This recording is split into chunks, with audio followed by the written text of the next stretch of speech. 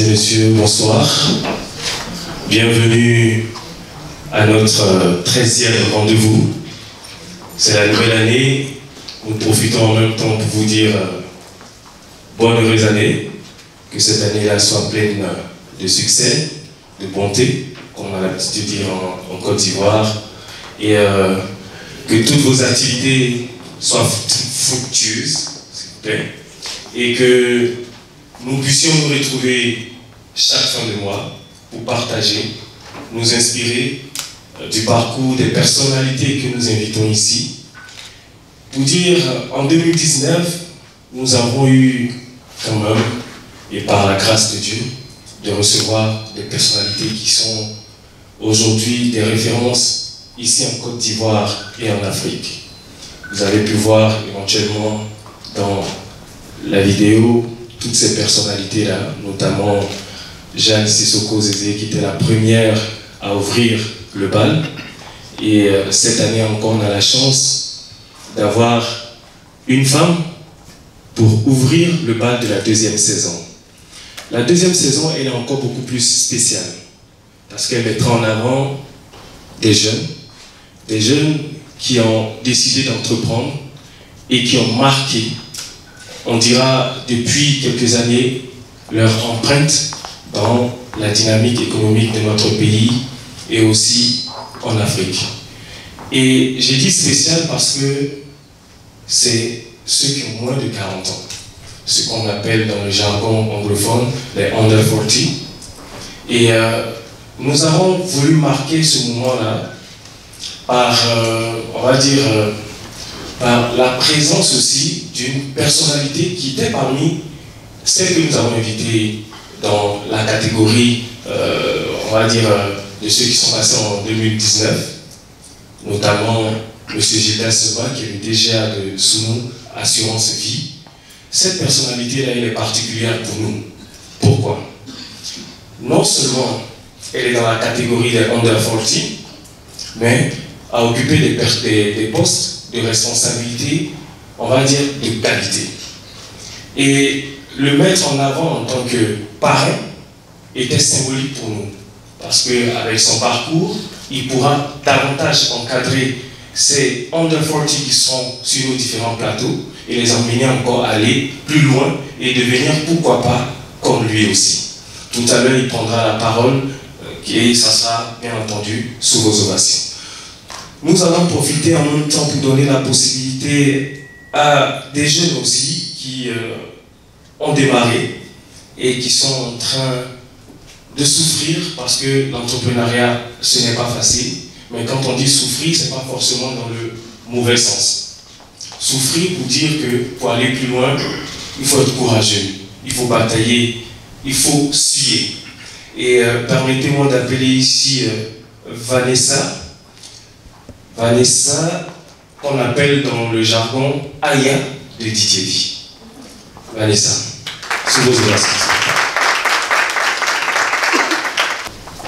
Vanessa, merci d'être venue.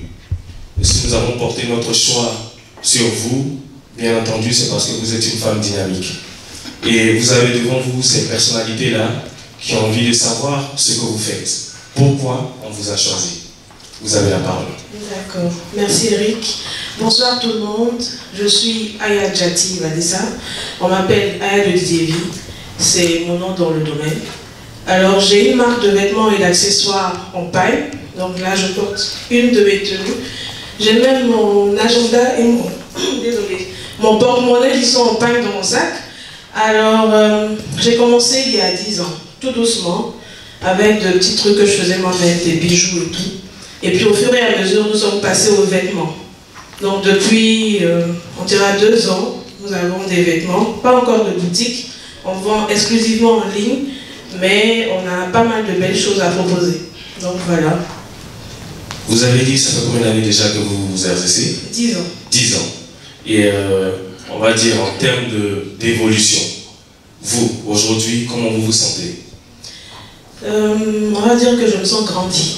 D'accord de 10 ans, c'est beaucoup d'expérience. C'est, on a trimé, on va dire comme ça. on se fait un nom tout doucement, parce qu'aujourd'hui, mine de rien, on exporte aussi à l'étranger, donc en 10 ans quand même, on a fait un grand pas. Et si vous devez chiffrer votre chiffre d'affaires en 2019 2019, euh, on va dire 1 million 2. 1 million 2. Voilà, Ça va, ça va venir. tout doucement. On espère que d'ici euh, la fin de l'année, vous passerez à 10 millions, pourquoi pas? Voilà. On espère. Merci encore, merci encore d'être venu. Merci. Et c'est toujours un plaisir pour nous de faire la promotion des, des- des jeunes entrepreneurs. C'est très important. Euh, on fera autrement cette fois-ci. Je passerai le micro à quelqu'un d'entre vous qui nous dira ce qu'il fait, comment ça se passe en business et euh, Bon, comme c'est une femme que nous recevons, on va donner encore la possibilité à une autre dame de présenter son business, surtout celle qui a laissé sa carte de visite à la maison. Madame, bonsoir. Vous avez le micro. Venez. Sous vos orations, s'il vous plaît. Il faut l'encourager. Madame, comment vous allez? Je vais bien, merci. Votre nom, s'il vous plaît? Je me nomme Cynthia André, D'accord. Madame Lodillon. Ok. Et qu'est-ce que vous Je ne faites pas. Mais bon, euh, je fais le business. En fait, je fais pas mal de choses. Je suis dans l'immobilier, D'accord. je suis commercial. Mais moi-même, j'ai j'ai un business, j'ai un magasin que je gère Et le magasin se trouve où? À l'Angleterre, D'accord. Et euh, précisément à nous, au marché. Ok, donc euh, aujourd'hui, euh, si vous devez estimer le nombre de clients que vous avez dans votre por- portefeuille, le nombre de clients que vous avez, Le nombre de clients, je dirais, approximativement. les clients fidèles, je dirais à peu près euh, 40. D'accord. Et votre chiffre d'affaires? Mon chiffre d'affaires annuel? Annuel? 2019, pour 2019, 900 000. 900 000. C'est encouragé, c'est pas facile, hein? Pas du tout facile. Avec les charges et tout ça, Oui, et vous arrivez à vous en sortir? Pas mal, de temps en temps. Et Ça vous avez- Il y a des hauts, il y a des bas. Tout à fait, ça c'est normal. Et vous avez recours aussi euh, au financement Ou bien? Pour l'instant, non, je travaille sur mon propre. Super, bravo. Merci, merci. Merci, il faut les encourager, c'est les femmes. Bon, on va essayer un homme parce que bon, je vois dans les regards, mais ce monsieur il doit être, il doit être hyper, hyper sectaire. Je ne le suis pas. Ne vous inquiétez pas. Monsieur, vous regardez à gauche, c'est vous que je vais choisir. C'est pas grave. Venez. Il dit, je ne suis pas entrepreneur. Il faut, il faut savoir que la plateforme du Meetup Business n'est pas exclusivement réservée aux entrepreneurs. Pourquoi? Voici M. Gidas que nous avons reçu euh, l'année dernière. Il n'est pas entrepreneur, mais il est intrapreneur. Monsieur, vous avez la parole. Merci, donc moi c'est Cyril Baudet.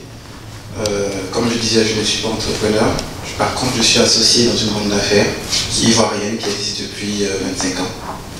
Euh, on peut savoir le nom de la banque, s'il vous plaît Hudson et compagnie. Euh, ce n'est pas du tout connu.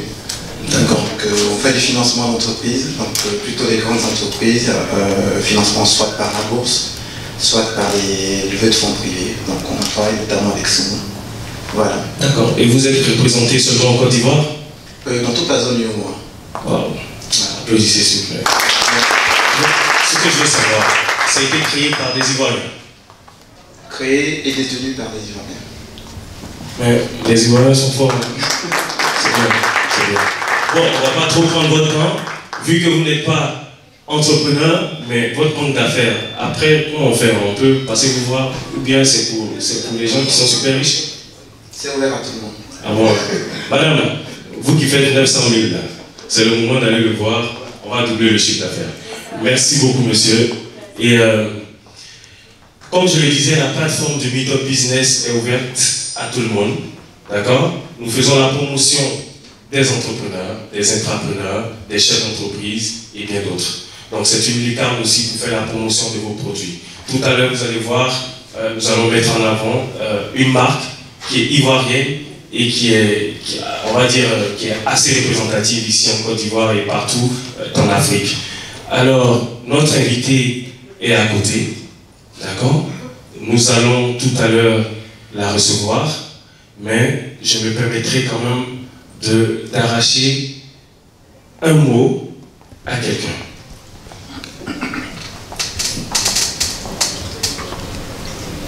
Madame, vous étiez tellement concentré qu'il fallait que je vous appelle. Venez. Mais vous allez nous dire qu'est-ce que vous êtes en, vous étiez en train d'écouter. Hein? Ah non, je, je vous écoutais. Ah, super. Allez-y. Vous êtes à la barre. Vous allez nous jurer de dire la vérité, rien que la vérité. Bonsoir, madame. Bonsoir. C'est votre euh, première fois au Meet Business? Oui. Qu'est-ce qui vous a motivé? Euh, déjà, euh, j'ai vu sur, euh, sur Internet, euh, un peu, j'ai vu un peu ce que vous faites et j'ai entendu parler par l'intermédiaire d'un de vos invités et j'ai voulu venir comme ça, voilà, participer et puis voir un peu. Ok. Et qu'est-ce que vous faites dans la vie, madame?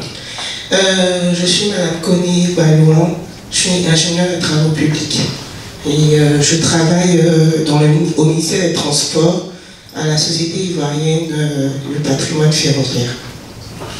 Mais pourquoi vous êtes écrit comme ça? Une femme qui est ingénieure des travaux. Travaux, vous avez dit? Travaux publics, mais expert ferroviaire euh, maintenant. Vous avez compris. Donc, quand vous êtes experte ferroviaire, on entend depuis un bon moment affaire de train qui va passer en Côte d'Ivoire. C'est comment? Vous pouvez nous expliquer un peu? Euh, très rapidement, en une minute, parce que je ne suis pas là euh, au nom de, de, Bien ministère des Transports, mais effectivement, je suis membre de la cellule de coordination du projet de la ligne 1 du métro d'Abidjan. Donc, euh, c'est un projet qui est en cours de démarrage et qui vise à, à construire un métro pour desservir la zone du nord au sud, donc de- en partant d'Anyama jusqu'à Port-Bouy.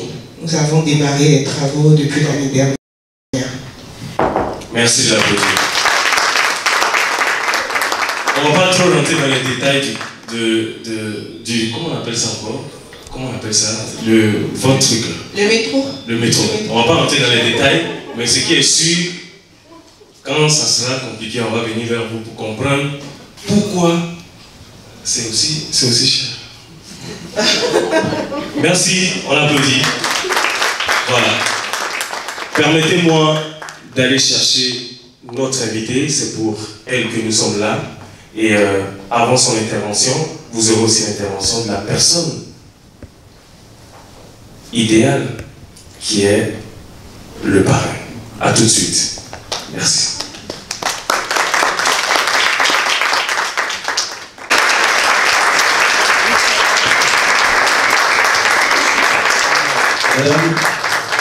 Prenez place, s'il vous plaît. Merci. Je suis quand même chanceux. hein. Vous pouvez vous asseoir. Voilà. Comme je vous l'avais dit, nous avons tenu quand même à ouvrir une femme parce que c'est symbolique. Là où il y a les femmes, ça marche toujours.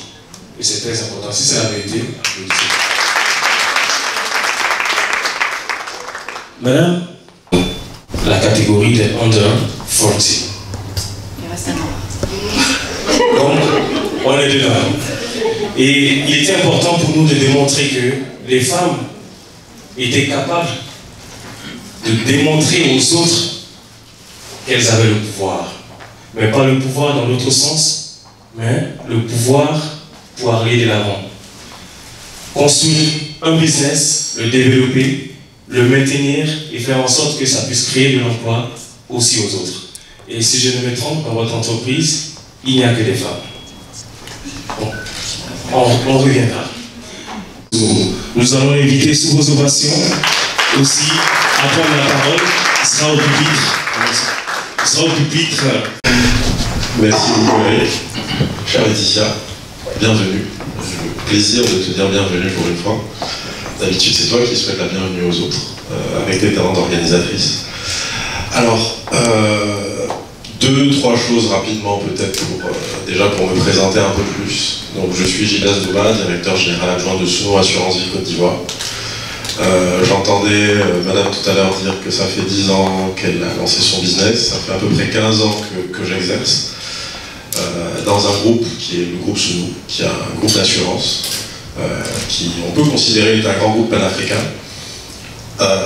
Eric parle beaucoup d'entrepreneuriat. Ce qu'il faut savoir, c'est que le groupe Sounou, c'est le résultat du travail d'un entrepreneur. Euh, le fondateur, M. Dion, comme vous entendez, c'est un Sénégalais, qui a décidé d'entreprendre, peut-être pas au même âge que d'autres ici dans la salle, il a décidé d'entreprendre à 57 ans. Exactement. Il a décidé d'entreprendre à 57 ans, il y a 20 ans maintenant, avec une petite idée, construire un groupe d'assurance.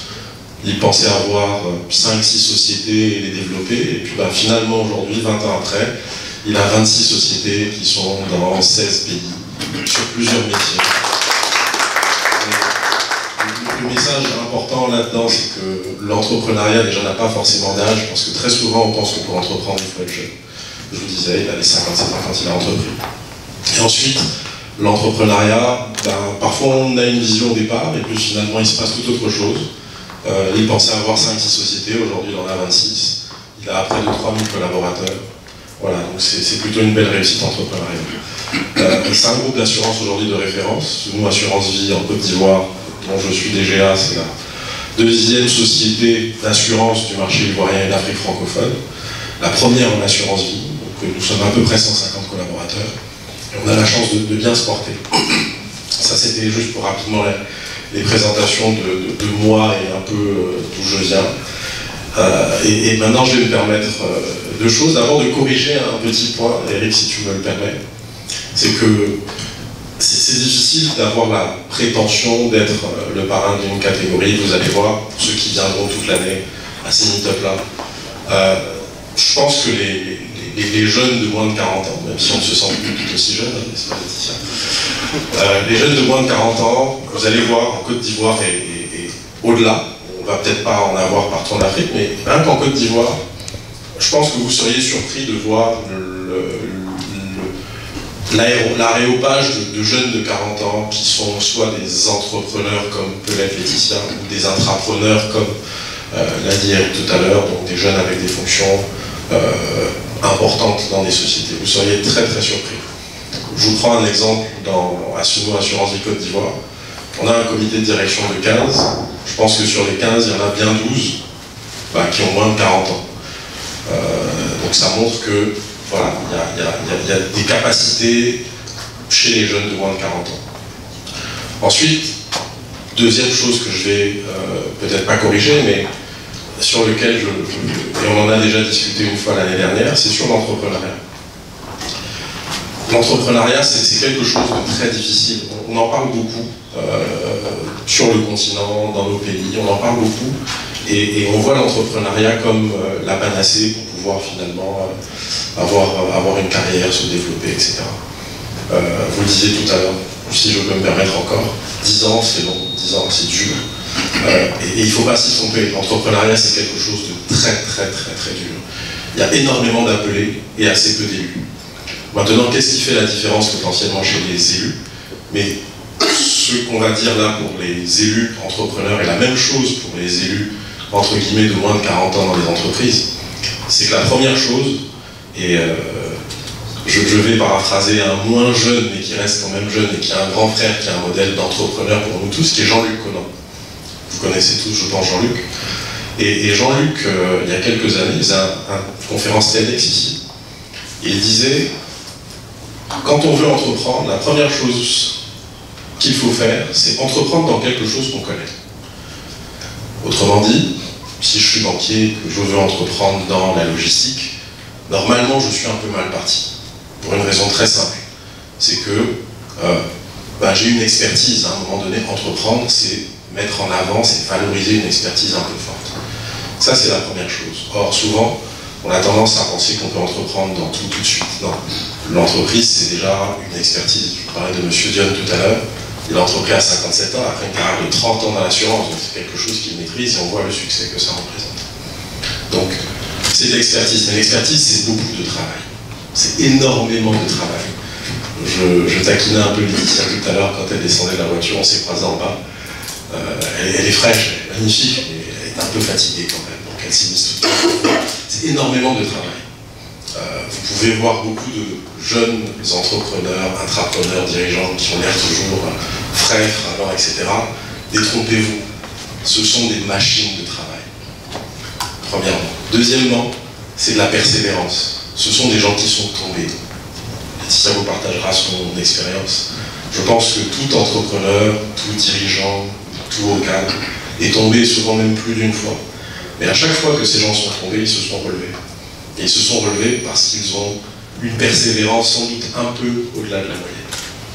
L'autre élément important, c'est la passion. Euh, je pense qu'entreprendre pour des raisons financières, pour se dire tiens, je veux gagner de l'argent, en règle générale, ça va pas très très loin. Il faut quelque chose d'un peu supérieur à l'envie de gagner de l'argent. Et c'est pareil quand on est en entreprise. Si on vient au boulot tous les matins pour se dire euh, je veux toucher mon salaire, on ne progressera pas en réalité. Donc il faut quelque chose d'un peu plus grand. Et ça, ça ne peut être tiré que par la passion en réalité. Et le dernier élément, et je m'arrêterai là, c'est quelque chose, on, on en entend beaucoup parler, et je veux juste vous rassurer sur une chose, c'est que c'est quelque chose qui se travaille, c'est quelque chose qui s'améliore au quotidien. Entreprendre, on peut commencer seul, puis au bout d'un moment, on se retrouve à avoir des collaborateurs, etc. etc. Et, il faut leur transmettre quelque chose, il faut leur donner envie de travailler avec eux. Euh, on a des clients, il faut donner aux clients envie de venir vers vous, etc. Et, c'est la même chose quand on est en entreprise. Et, cette caractéristique-là, ça s'appelle le leadership. Et c'est quelque chose que tout le monde peut travailler. Je, souriais tout à l'heure, euh, parce que je, vois un peu comment les uns les autres se positionnent quand ils doivent s'exprimer à un pupitre. Et euh, je, me moquais doucement d'Eric. Eric est entrepreneur, n'est-ce pas? Tous les mois, il vient devant des gens, parfois il ne les connaît même pas, il prend le micro, il fait des blagues, etc. Et tout à l'heure, désolé de te faire ça, mais ça m'amuse aussi un peu. Tout à l'heure, quand il a commencé à parler, il tremblait un tout petit peu. Vous savez ce qu'il avait? Il avait le trac. Il avait le trac, et pourtant il fait ça tous les mois. Vous voyez? Applaudissez pas.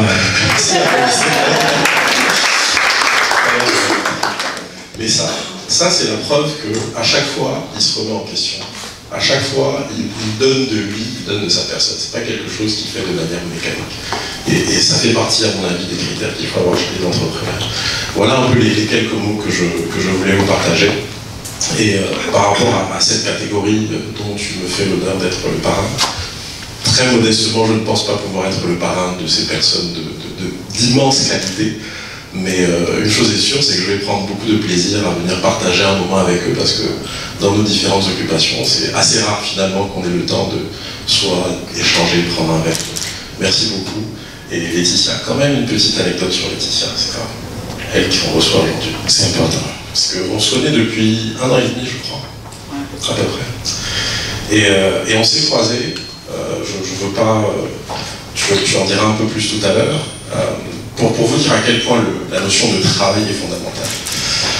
Laetitia fait partie des 100 euh, jeunes en dessous de 40 ans qui sont sélectionnés chaque année par un institut qui s'appelle l'Institut Choiseul, qui est un institut de référence en France et, dans le monde et en Afrique en particulier. Et je crois qu'il y a un an et demi, tu étais en charge d'organiser en fait l'événement Choiseul euh, à Il y a deux ans. Il y a deux ans. En charge d'organiser l'événement Choiseul à Abidjan. Imaginez-vous un événement de ce type-là, donc il y a les pouvoirs publics qui sont impliqués, il y a énormément de chefs d'entreprise, euh, vous avez euh, des jeunes euh, venus de France, d'autres pays, etc., qui sont absolument brillants avec des carrières exceptionnelles, donc des gens très exigeants. Et, bah, il, faut, il faut leur donner quelque chose à faire pendant 3-4 jours, je ne sais plus, il faut qu'il y ait un rythme, il faut que ce soit riche, il faut que ce soit intéressant. Et, et, ce qui m'a marqué en fait chez, Laetitia pendant, pendant cette période-là, euh, bah, c'est précisément tout ce que j'ai dit tout à l'heure. C'est que, toujours impeccable, mais je crois qu'elle devait tourner à une heure de sommeil ou deux par nuit, ou quelque chose comme ça, ou peut-être même zéro d'ailleurs. Voilà, donc quelque chose comme ça. Parce qu'il fallait travailler en fait. C'était énormément de boulot que de recevoir des centaines de personnes, que d'organiser tout ce qui allait aller autour de l'activité de ces centaines de personnes, tout en étant soi-même concerné en fait au premier chef par ce qui allait se passer. Euh, et, et, j'ai trouvé ça vraiment admirable. Et par la suite, on a eu l'occasion d'échanger. Et oui, je pense qu'une des caractéristiques que je trouve formidable chez Laetitia, c'est qu'elle garde son sourire, elle est toujours extrêmement avenante, mais c'est une machine de travail. Donc on va lui passer la parole et je vous remercie de bien vouloir. Merci infiniment, Monsieur Zouba. C'est pauvre.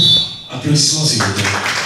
C'est vrai qu'il m'a un peu chalité, mais bon, c'est pas grave. C'est vrai que j'ai tremblé. Hein. Ouais.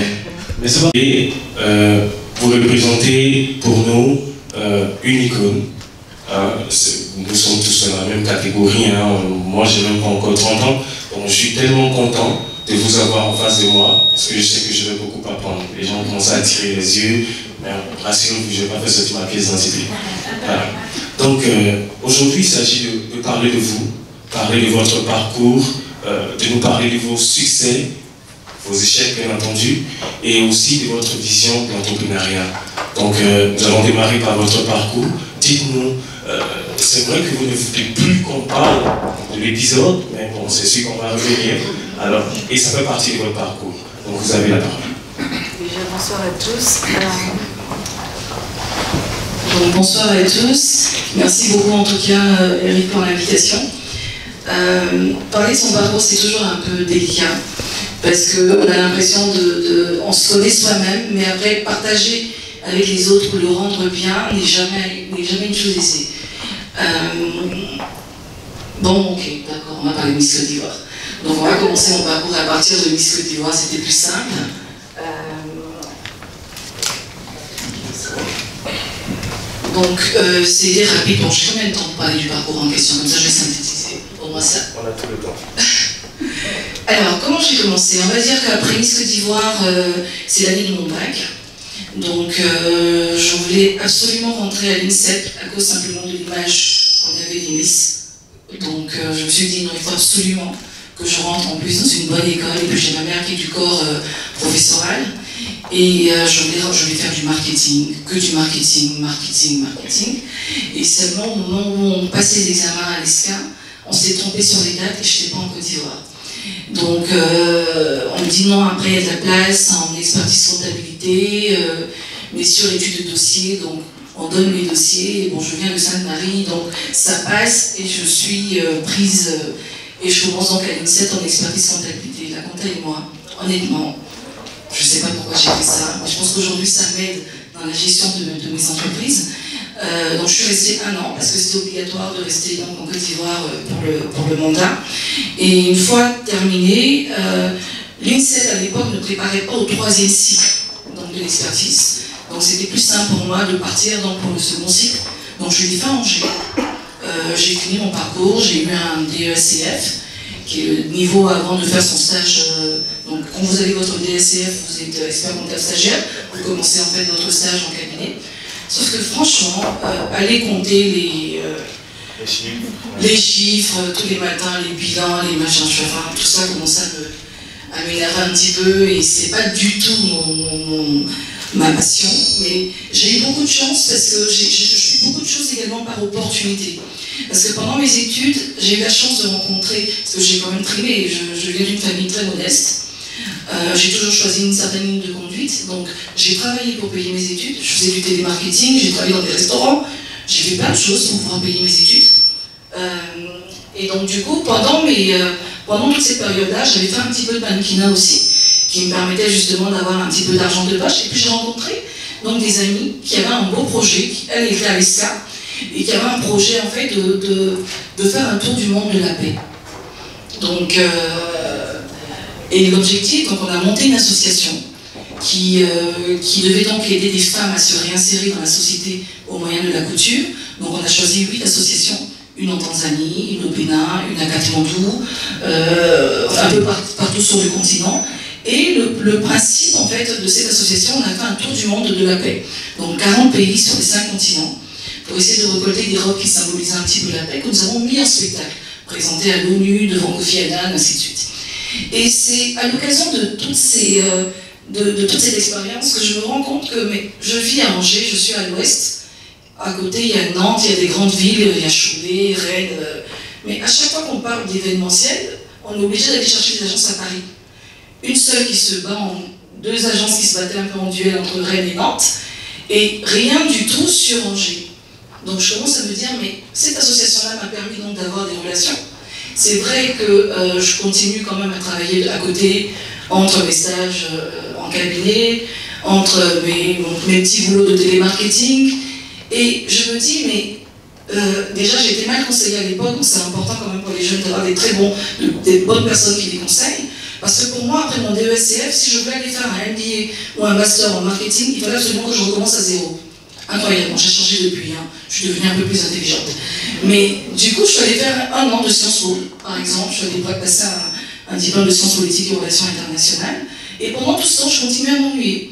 Donc quand j'ai vu l'opportunité de, cette agence, à un moment, je me suis dit, mais attends, voilà une bonne opportunité, tu as toujours aimé ça. Il faut dire en plus que moi j'ai déjà un parcours euh, sur tout ce qui était Junior Achievement que j'ai fait pendant mes études Sainte-Marie.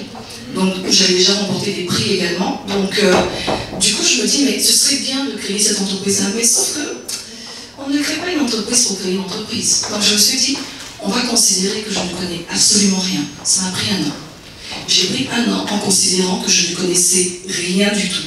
Parce que l'expertise le, comptabilité, c'est une chose, mais après, aller faire une étude de marché, je ne sais pas comment on fait. Aller euh, démarcher des clients, je ne sais absolument pas comment on fait. Donc j'ai pris un an. Internet était mon meilleur ami. J'ai tout vu. Tout ce qu'on pouvait lire sur, euh, c'était apce.fr, ce sont les fiches métiers qui vous apprennent un petit peu l'univers de l'événementiel, qu'est-ce qu'il faut faire, comment il faut présenter un devis. Je suis repartie en France, ils ont un système de boutiques de gestion qui sont là pour accompagner des jeunes entrepreneurs. Je suis repartie en formation. J'ai payé toutes les formations possibles et inimaginables. J'ai continué à faire tous les petits boulots possibles et inimaginables parce que j'avais besoin de payer cette formation-là en chambre de commerce, parce que eux aussi en chambre de commerce, on vous donne des formations.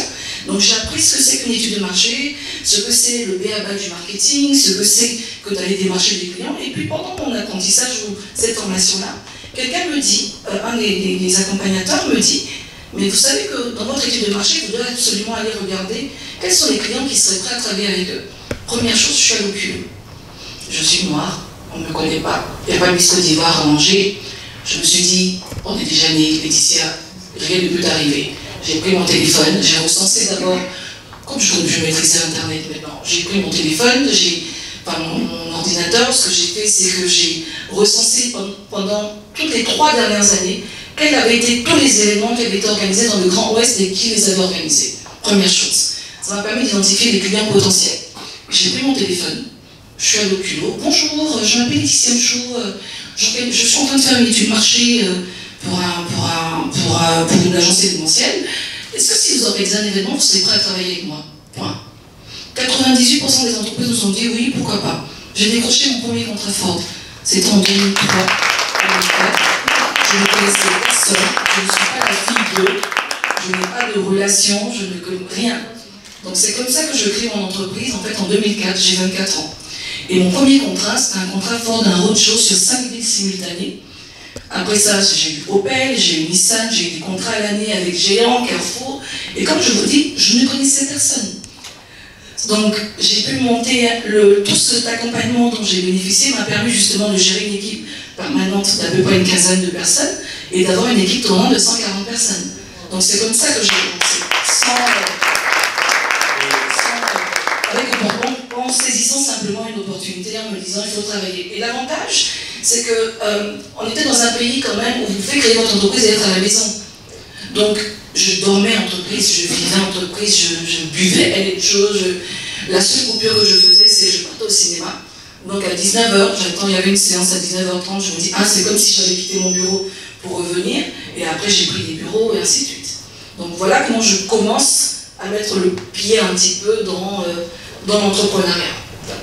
Et quand vous finissez cette, euh, on va dire cette partie, revenez en Côte d'Ivoire C'était un concours de circonstances, parce que pendant longtemps, j'ai toujours été attirée par la cause des enfants, et je nourrissais justement un projet, parce qu'après, une fois qu'on a eu, avec mes amis de l'époque, euh, enfin, on est toujours amis de Mots sans frontières, une fois que nous avons, euh, que nous, on avait atteint les objectifs de l'association, il fallait fermer l'association. Donc une fois qu'on avait fermé, je me suis dit, ah mais ce serait bien de continuer quand même dans le, dans le milieu humanitaire. Donc j'ai monté un projet euh, d'ONG ici, donc euh, avec un, grand frère qui est neurochirurgien pour gérer les enfants hydrocéphales. Et on devait venir pour le lancement de l'ONG en 2006. Donc on organisait un gala ici qui s'appelait également La paix à travers la vôtre. Et j'ai fait venir mes copines, on a fait des anciennes Miss Côte d'Ivoire, ainsi de suite. Sauf que quand je viens, je perds mes papiers. Je n'étais pas française, je n'ai jamais demandé la nationalité française, mais je perds ma carte de séjour. Ça m'a pris 4 mois. Entre la préfecture d'Angers qui renvoie la balle à l'ambassade de, France, qui renvoie la balle, enfin l'administration française et tous les tracas, et puis ma mère qui me dit ah, peut-être que c'est un signe de Dieu. Peut-être que tu viens t'installer. J'ai aucune envie de venir m'installer, je me dis j'ai pas fini d'apprendre. Euh, et puis en plus, je pense que non, j'ai encore beaucoup de choses à faire, j'ai mon entreprise qui est là-bas. Et puis au fil du temps, Abidjan est tout en fait. Donc je me dis, bon, c'est pas mal, donc peut-être qu'il faut que je vienne. Et donc je décide que bon, ce serait bien de créer une autre version d'une filiale par exemple, ou une autre agence une Show ici. Puis c'est là que tout le monde me fait asseoir pour dire, on va t'expliquer comment ça marche. En Côte d'Ivoire, c'est pas comme ça. Tout ton bavardage, ton chocolat, tu fais et puis à Abidjan, en France et tout, c'est pas la même chose. Ici, on te connaît pas. On ne te connaît qu'en tant que Miss Côte d'Ivoire. Et Miss Côte d'Ivoire, c'est pas un métier, ma fille. C'est ma mère. Qui me dit, ce serait bien si tu veux vraiment venir. Moi qui dis, non, mais qu'est-ce que tu racontes? Moi, en France, je connaissais personne, j'ai créé une entreprise, j'ai des contrats à l'année, j'ai fait un beau chiffre d'affaires, j'arrive à me payer un bon salaire, je sais pas de quoi tu parles, enfin, genre. Mais dans la vie, c'est censé bien écouter quand même ses parents, même si souvent euh, les gens ont tendance à vous décourager, mais c'est quand même bien. Et que j'ai eu la chance également d'avoir un genre de mentor que je connais depuis justement l'âge de 15 ans, qui est Fabrice Savignon, et qui m'a dit Est-ce que tu as écrit ton projet professionnel? Je lui ai dit euh, Oui. Donc, euh, il dit Non, tu n'as pas encore bien écrit. Est-ce que tu as écrit ton projet? Parce que nous, on sait que tu aimes bien l'entrepreneuriat et que tu n'aimes que ça, mais est-ce que tu l'as écrit? Donc, c'est comme ça que j'ai écrit mon projet. Je sais où je vais. Je me dis Moi, Laetitia Joe, avec la volonté de Dieu, là voilà où je dois arriver? Donc, mon projet professionnel, il est connu. Mais simplement, je me suis dit effectivement, je quand, j'arrive ici, que j'essaie de démarcher les gens, je vois que les réalités sont différentes. Donc je vends mon entreprise et je recommence à venir travailler ici. Et ça vous demande une dose d'humilité. Parce que si vous avez eu l'habitude justement, quand vous avez créé votre entreprise, d'embaucher des gens, revenir travailler pour des gens où quand vous lisez plein de fautes d'orthographe, tout ça, ça vous, ça vous demande quand même un, un brin d'humilité. Et c'est ce que j'ai fait. Et il m'a donné ma chance en me disant écoute, j'ai un très bon projet ici, euh, ce serait bien que tu intègres par exemple l'agence, que tu regardes. Honnêtement, il m'a fallu un bon mois pour digérer un peu parce que j'avais l'impression que c'était un échec, parce que c'est comme si j'abandonne euh, euh, quelque chose que j'ai construit avec mes tripes, j'en ai, souffert, j'en ai bavé, et de tout lâcher pour venir travailler pour gagner un salaire qui était même, allez, 10% de ce que je gagnais à l'époque. C'était un peu compliqué, c'était dur. Ça m'a pris 10 ans. Oui, 10 ans pour apprendre à maîtriser l'environnement le, ivoirien. Pourquoi? Parce que quand j'ai travaillé justement avec, euh, avec euh, Vodou, en lançant justement tout ce qui était Claude Tycoon, ça me permettait de me frotter à d'autres jeunes cadres, à des cadres pour comprendre un petit peu quels étaient leurs besoins. Parce que finalement, on ne crée pas une entreprise pour se faire plaisir. Il y a deux raisons pour lesquelles vous créez une entreprise. Au-delà du fait, comme il disait justement Gilles que vous apportez votre expertise. Vous créez une entreprise parce que premièrement, vous avez identifié un besoin auquel vous allez répondre. Le besoin, il est clair. Vous savez que vous, vous êtes capable de répondre à ce besoin-là. Vous créez votre entreprise. La deuxième chose, il y a, un, un, besoin qui existe sur le produit existant. Vous savez que vous apportez de l'innovation. À ce moment-là, vous créez votre entreprise. Mais une agence de communication, une agence événementielle, qu'est-ce qu'il y a de nouveau? Heureusement. Donc du coup, j'ai commencé à Vaudou. Après Vaudou, j'ai été débauchée, je suis partie comme directrice commerciale et, marketing dans une autre entreprise. Après, j'ai été débauchée encore par Côte-Ouest. Et donc, j'ai gravé les échelons pour finir directrice Afrique francophone et quelques pays anglophones, dont j'avais en charge 26 pays. Mais pendant ces 10 ans, attention, je créais des entreprises quand même toujours par opportunité. Je, suis avec une amie qui, euh, qui est euh, sénégalaise américaine. Euh, à chaque fois quand les gens nous sollicitent pour quelque chose, pour un besoin, pour un service, Laetitia, tu connais pas un tel, je me suis dit, mais attends, je peux monnayer ce, ce business? Je suis allée réfléchir, je me suis dit, mais attends, en France, ça s'appelle de la conciergerie, je sais pas de quoi on parle. À l'époque, on avait de la conciergerie pour les téléphones vertus. par exemple. Donc j'ai refait un petit peu le, oublier les business plans, hein. c'est pas plutôt en fait les business plans. J'ai calculé vite fait en me disant, bon, si, je, si les gens me payent un abonnement de temps, temps, temps, ça peut me rapporter un peu d'argent. Ah, j'ai regardé, est-ce que c'est en adéquation ou est-ce que c'est en opposition avec les activités de mon entreprise? Est-ce que je ne suis pas concurrente à mon entreprise? Ce n'était pas le cas. J'ai créé ma conciergerie, on était en 2009. Je n'étais pas encore entrée en continue. J'ai une petite question. Je, ne, je, ne, vous coupe pas la parole. Vous n'avez pas l'impression d'être un peu éparpillé quand vous êtes à un poste que vous créez ici, vous créez là-bas et tout Non. non? La seule et bonne raison que je suis ma passion, première chose, c'est que je ne suis pas, je ne, je ne, je je n'arrête pas de travailler pour mon employeur. Je suis un employé, pas un, employé modèle. Excusez-moi de me lancer des fleurs, il n'y en a pas beaucoup là, mais bon. Je peux vous confirmer que euh, quand je travaille pour quelqu'un, en tout cas toutes les fois où j'ai travaillé pour quelqu'un, il ne peut pas venir dire Laetitia elle donnait des arrêts maladie, c'est pas moi. On ne pourra jamais venir dire Laetitia, elle ne rendait pas son travail à temps, c'est pas moi. En général, je finis tôt. Vous pouvez me donner un objectif, vous me dites j'ai un mois pour le réaliser, je vais le faire en une semaine, puis j'attends un peu, je me dis bon si je donne trop tôt, il va se dire que pour la là. Donc du coup j'attends un peu, deux semaines, deux semaines et demie, et puis on donne. Donc non, je ne veux pas dire que je suis éparpillée, parce que j'ai toujours su où je partais. Vous êtes éparpillé quand vous créez beaucoup de choses et que vous ne savez pas où vous partez, vous ne savez pas à quoi vous conduisent tout ce que vous êtes en train de faire. Donc, je crée ça quand je suis, par exemple, euh, pendant que je suis euh, chez, le, distributeur où je suis directrice générale, à un moment donné, un jour, je me lève et je dis à mon mari, tu sais quoi, j'en ai marre que les filles nous demandent à chaque fois la monnaie, la monnaie, moi je vais gagner 10 000 francs par jour. C'est comme ça que je crée Sandwich Co. Pourquoi? Parce que je me dis en fait, Sandwich Co, en fait, vous vous demandez, c'est une sandwicherie mobile. Je me suis levée, je me suis dit, j'en ai marre de manger des chicken poisson, je me dis, c'est trop lourd. Normalement, on mange sur le pouce, vous n'avez pas le temps, vous prenez une petite salade, un petit pain. J'ai fait ça en trois semaines, j'ai pris une date, je me suis dit, ah, le 18 septembre, ça me rappelle Miss Côte d'Ivoire, c'était mon numéro. Donc je dit, on lance ça le 18 février, on est le 29 janvier, j'ai trois semaines pour créer l'entreprise, j'ai créé l'entreprise pour distribuer mes pains pour l'année 10 000 francs par jour.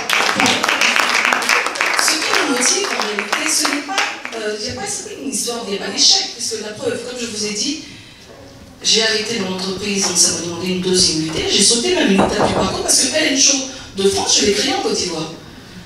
J'ai souffert également de, ce qu'on appelle le comptable aussi qui part avec d'autres argent. J'ai connu toutes ces déconvenues quand vous donnez la gestion de vos entreprises à quelqu'un d'autre qui ne partage pas la même vision que vous. Pour eux, simplement travailler, c'est alimentaire. Vous ne pouvez pas reprocher à quelqu'un d'avoir un besoin alimentaire, c'est le principe du travail. Mais simplement, c'est normal que ces personnes-là ne partagent peut-être pas la même vision que vous. Donc créer une entreprise et puis la laisser, ou créer son bébé, puis le laisser gérer par quelqu'un d'autre qui ne partage peut-être pas les mêmes valeurs que vous, c'est la meilleure façon, en tout cas, de se planter. Donc c'est comme ça que je lance euh, euh, euh Sandwich Co. Donc entre-temps, j'ai la conciergerie, j'avais déjà lancé également euh, la régie. Et puis je décide que bon, j'en ai un peu marre de... j'ai besoin de revenir à mes premières amours. Je crois que la Abidjan, là, je connais maintenant. Donc c'est bon, je pense que je peux... 10 ans, c'est quand même beaucoup. Donc je me dis, bon, ce serait bien quand même qu'on refasse autre chose. Et puis je ressens surtout le besoin d'accompagner des entreprises, des entrepreneurs dans, le, dans, dans, dans, la, dans, le, dans la conception de leur entreprise, dans la gestion de leur entreprise. Parce que comme je dis, beaucoup de gens, quand on regarde, même les clients que j'accompagne, on confond chiffre d'affaires et bénéfices. Dès que vous avez un gros marché, vous commencez à vous acheter le dernier Range Rover. Votre entreprise n'est pas viable. Les jeunes, par exemple, ont de, très belles idées, ont envie de créer, mais à un moment donné, dès qu'il y a un petit marché, la situation, le niveau de vie change. Mais votre entreprise ne pourra jamais être pérenne. Donc du coup, c'est comme ça que je décide de repartir à l'école. Encore une fois, pendant, euh, pendant euh, je fais donc un cycle de perfectionnement pour aller un pays pour les Barcelone avec MDE ici. Et euh, pendant un an, donc ça me permet de me, réouvrir un petit peu mon esprit et puis de, me frotter également à d'autres chefs d'entreprise. Cette fois-ci, j'étais la plus jeune de ma promo. Au-dessus, j'en avais 35, au-dessus, j'avais 45 minimum. Mais ça me permettait surtout d'avoir une autre expérience et un autre partage de ces chefs d'entreprise. Donc, je décide de, démissionner pour une meilleure euh, on va dire, coordination de mes activités, que de reprendre en main, finalement, l'ensemble de mes entreprises. Donc c'est comme ça que je monte le groupe. Et qu'au fur et à mesure, encore une fois, toujours par opportunité, tout le monde savait que j'avais grossi, n'est-ce pas? Il paraît que j'ai toujours grossi, c'est pas grave, on parlera pas ce sujet-là. Mais euh, c'était que j'ai eu un parcours, par exemple, une expérience dans le, en essayant de maigrir, un parcours du combattant entre les hauts et les bas, entre la maladie, parce que les gens ne savent jamais ce qui vous arrive. Et c'est comme ça que je décide de lancer, par exemple, Tietanco pour aider en fait un magazine, donc pour aider euh, sur tout ce qui est healthy way of life, aider un peu les gens, comment maigrir, comment. Donc encore une fois, comme je le dis, c'est toujours par opportunité. On identifie un besoin, je me dis, ça va nous coûter combien? Par contre, j'ai pas peur de me planter. Ça, c'est ça, c'est un truc, c'est que je n'ai jamais eu peur de me planter. Si je me suis planté, j'ai appris. Vous avez combien d'entreprises aujourd'hui Officiellement, 5 plus le groupe, ça fera 6. Officiellement, oui, c'est officiellement. Et combien On navigue à peu près une vingtaine, trentaine fixe, et puis après, bon, on regarde. Et vous arrivez à gérer tout ça C'est une question d'organisation et de, C'est comment vous êtes organisé. Vous ne pouvez pas. Je ne sais pas quoi dire d'autre à part. euh, ça demande une bonne organisation. Vous savez exactement ce que vous avez à faire. Et quand vous travaillez avec des gens, vous devez leur montrer l'exemple. Moi, mes équipes, j'en ai quelques-unes ici. Elles savent que quand on est sur, par exemple, un événement ou un projet, je suis la dernière à partir, je suis la première à être là. Donc, est-ce que vous allez venir me dire, bon, justifier que vous n'êtes pas là Donc, on est obligé de travailler ensemble. Voilà. Merci de l'applaudir. En fait, je suis, je suis moi-même ébahi tout de suite par son parcours. Désolé. Je suis moi-même surpris de voir que son parcours est en train de m'inspirer.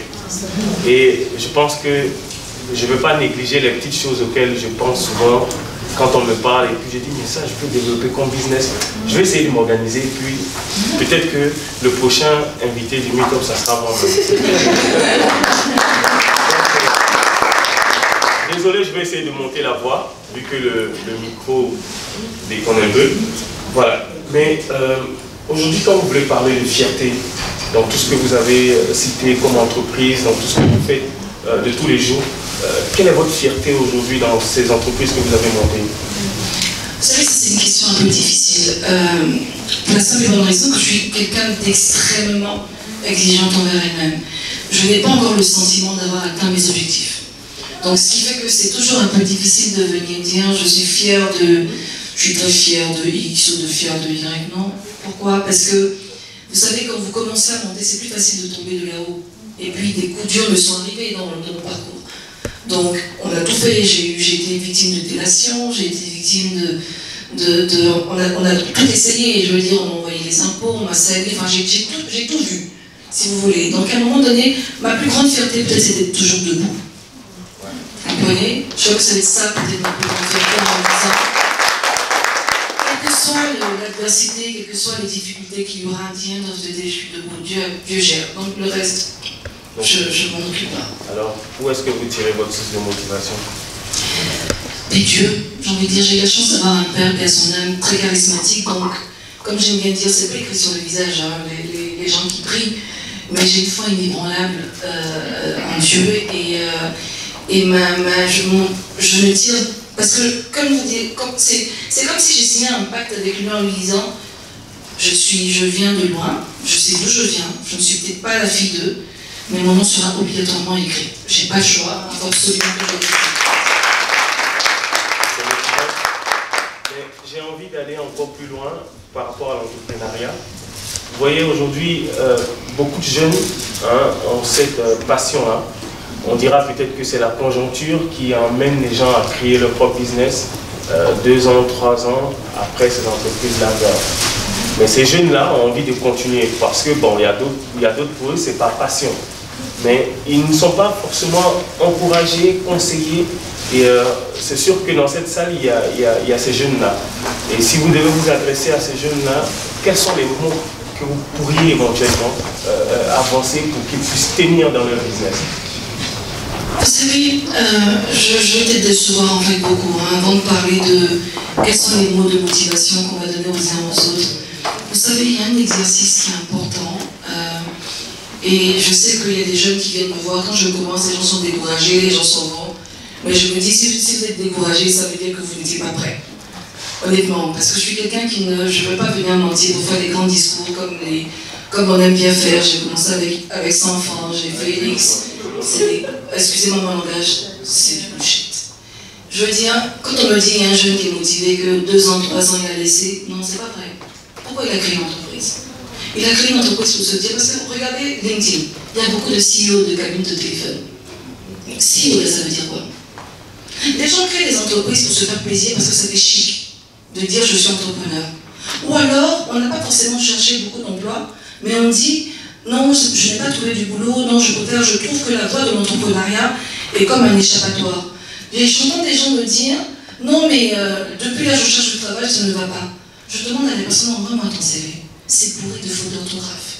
Excusez-moi, vous allez chercher du travail là quoi Je suis désolée, à un moment donné, apprenons à nous dire la vérité. Quand on, vous voulez aller quelque part, vous voulez mettre un pas en avant, soyez exigeant avec vous-même. On ne peut pas, par exemple, utiliser une plateforme en disant vous avez le droit de postuler, vous envoyez un message en disant euh, Chérie Coco, tu peux m'appeler, je cherche travail. Ah, je suis désolée. Donc, ce jeune qui me dit, je suis, j'ai essayé de créer mon entreprise depuis deux ans, depuis trois ans, ça ne fonctionne pas, on va repartir sur les fondamentaux. Pourquoi il a créé? Quel est le besoin qu'il a identifié ou quelle est l'innovation qu'il pense apporter au service existant? Pourquoi il a créé son entreprise? Je vois beaucoup de personnes, par exemple, aujourd'hui, le wax à la mode. Tout le monde crée beaucoup de choses sur tout ce qui tourne autour du bail. C'est très bien. Mais vous êtes 40 000 à faire la même chose. Quelle est l'innovation que vous apportez qui fait que je monte, je descends, je suis obligé d'aller chez vous? Nana Box est un, un excellent exemple. Quelle est la différence? Il y en a plein. Donc le jeune en question qui me dit, ça fait deux ans, trois ans que j'essaie de créer une entreprise, enfin que j'ai créé mon entreprise, ça ne marche pas, je suis passionnée, j'ai envie de lui dire, ta passion, elle vient m'expliquer. Remettons les bases. que, quel est le service que tu proposes? Comment tu le vends? Est-ce que tu t'es levé à un moment donné et tu t'es dit Ah, moi j'ai envie de vendre tant, je pense que ça va marcher. Ou bien j'ouvre ma boutique de vêtements. Mais le B à bas, prenons l'exemple d'une boutique de vêtements. Le B à bas, avant de choisir le local, vous vous arrêtez devant le local que vous voulez prendre. Vous regardez les gens passer devant vous. Combien de personnes vous regardent? Comptez le nombre de personnes qui passent. Ça vous déterminera le nombre de personnes qui sont susceptibles de voir vos articles ou de voir votre vitrine. Donc les jeunes en question qui me disent oui, ok, je suis en train de créer, ou bien j'ai créé depuis deux ans, je vais te demander quel est le service que tu as créé. Je veux faire de l'informatique, ou bien, ok, d'accord. Tu as identifié le nombre d'entreprises qui en ont besoin? Une PME, c'est difficile pour une PME. Quand quelqu'un me dit j'ai un service informatique, je vais créer un serveur, mais la PME là, il y en a combien qui déclarent leurs employés? Pour dire qu'ils vont venir payer, qu'elles vont venir payer, pardon, un service, par exemple, d'informatique à tel prix. Donc, le, produit que vous avez créé, à qui s'adresse-t-il? Quelle est votre cible? Comment vous l'avez identifié, votre cible? Donc, avant qu'on ne parle de quel est le conseil qu'on donne, reprenons les bases. Pourquoi vous créez votre entreprise? Vous, quand vous avez identifié votre besoin, qu'est-ce que vous avez fait? Comment vous avez balisé les contours pour déterminer, ok, par rapport à l'entreprise, au service que je proposer, voici les personnes à qui je vais m'adresser. Voici comment je suis capable de les atteindre. Voilà les... Et c'est comme ça qu'on commence. Et on ne commence pas avec forcément un million, sauf si vous êtes dans les lignes. Ça dépend des services. Tous les services ne, ne, se lancent pas avec beaucoup d'argent.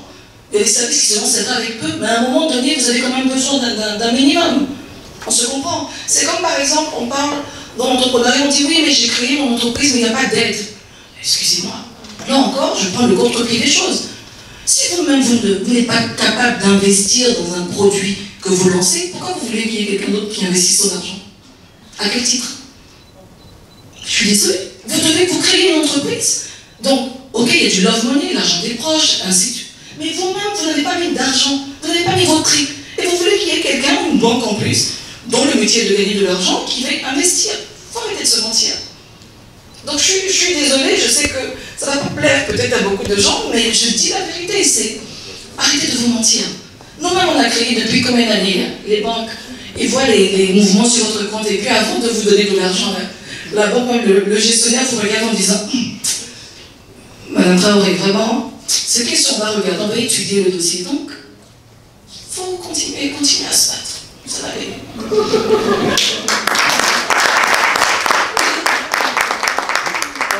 Je je pense qu'elle a, ressorti des, éléments qui sont assez importants dans la gestion des entreprises pour les jeunes. On a, voulu mettre l'accent là-dessus. Pourquoi? Parce que euh, on a parlé de conjoncture, hein, mais aujourd'hui, peut-être on dira un an, deux ans, les jeunes commencent à prendre conscience. Parce qu'il y a de la formation, il y a des, euh, ONG qui aujourd'hui les accompagnent, euh, pas forcément en matière de, financement, comme je disais, par, la formation, et ça commence à aller. Mais ils ont peut-être besoin de beaucoup plus. Connaissez-vous les statistiques, de, par exemple, du nombre d'entreprises qui ferment? C'est trois ans minimum. Oui, mais je veux dire, il y a deux ans... C'est après trois ans qu'on peut commencer à savoir si c'est viable. Tout à fait. Mais, je veux dire, il y a deux ans aujourd'hui, euh, les, les, les, entrepreneurs sont en train de se reprendre. Ils sont en train d'aller de l'avant, mais euh, faute de marché, parce que euh, ils sont... De marché, ça veut dire quoi? Non, je, vous explique. Les entrepreneurs nous disent, hein, ils nous disent, écoutez, on est allé sur un marché, j'y avais peut-être telle entreprise qui avait beaucoup plus d'expérience que moi, et moi après on me tasse d'avoir euh, deux ans d'expérience. Donc, euh, et pourtant, cet entrepreneur a pu avoir la technique. Malheureusement, le marché ne lui est pas attribué. Ce sont des choses qui arrivent. Je veux dire, est-ce que ces éléments-là ne sont pas censés décourager l'entrepreneur? C'est qu'il n'est pas entrepreneur.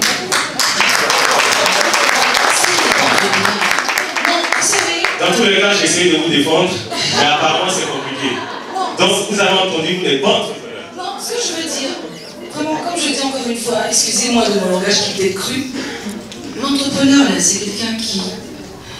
Vous savez, j'aime pas trop l'image, et, j'aime bien ce que disait Gilles tout à l'heure. Je n'aime pas l'image qu'on renvoie de l'entrepreneuriat et de la facilité. Ça me fatigue.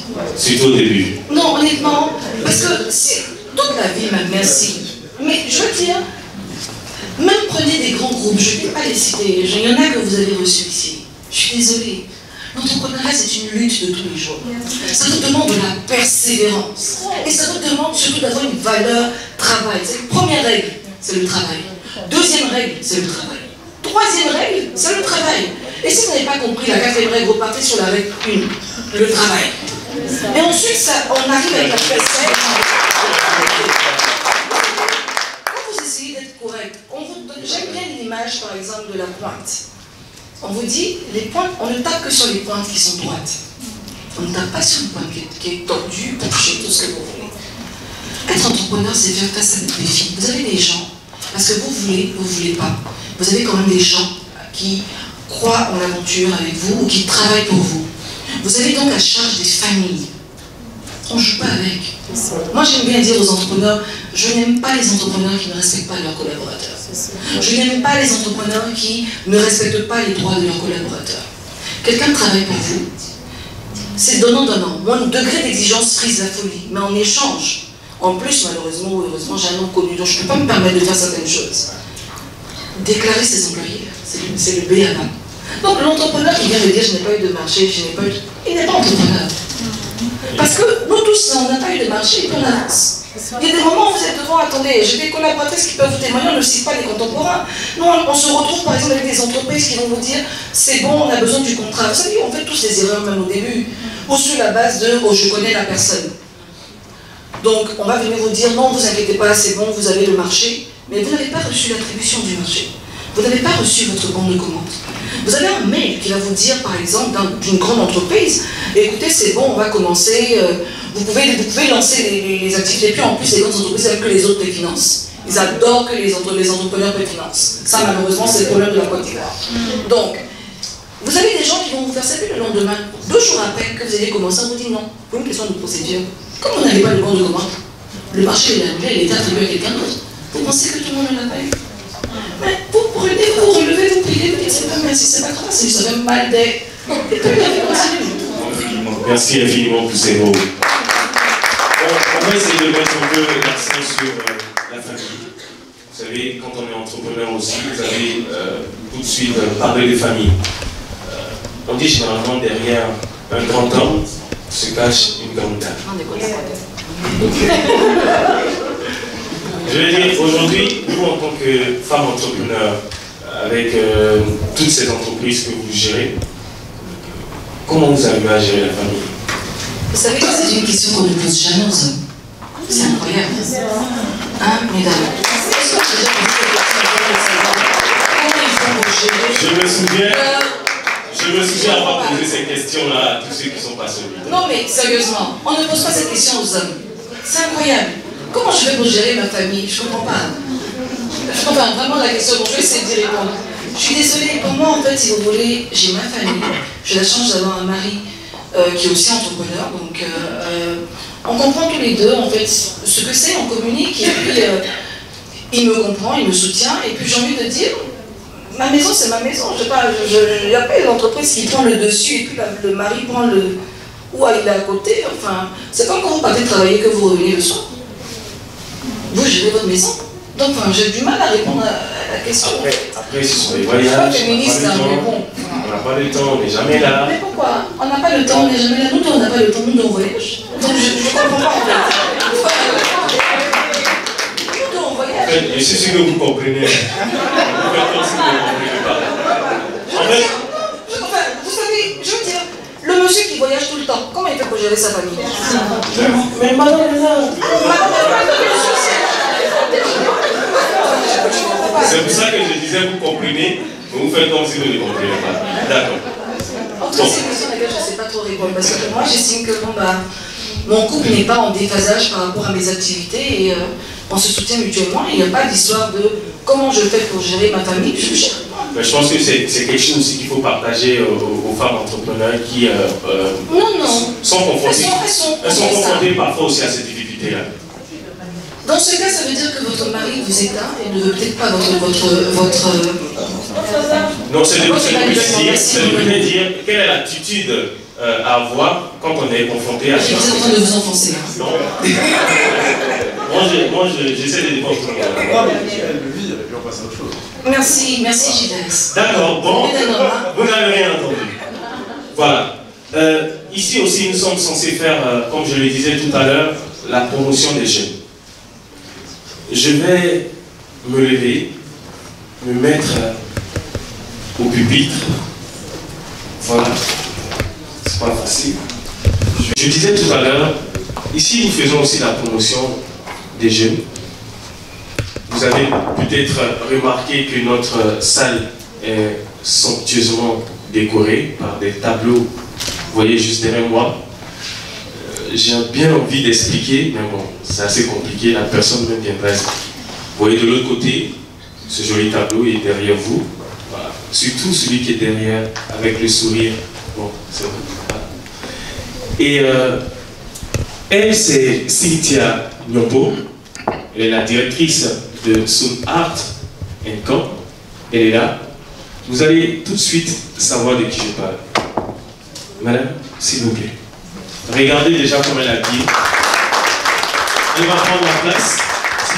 S'il te plaît.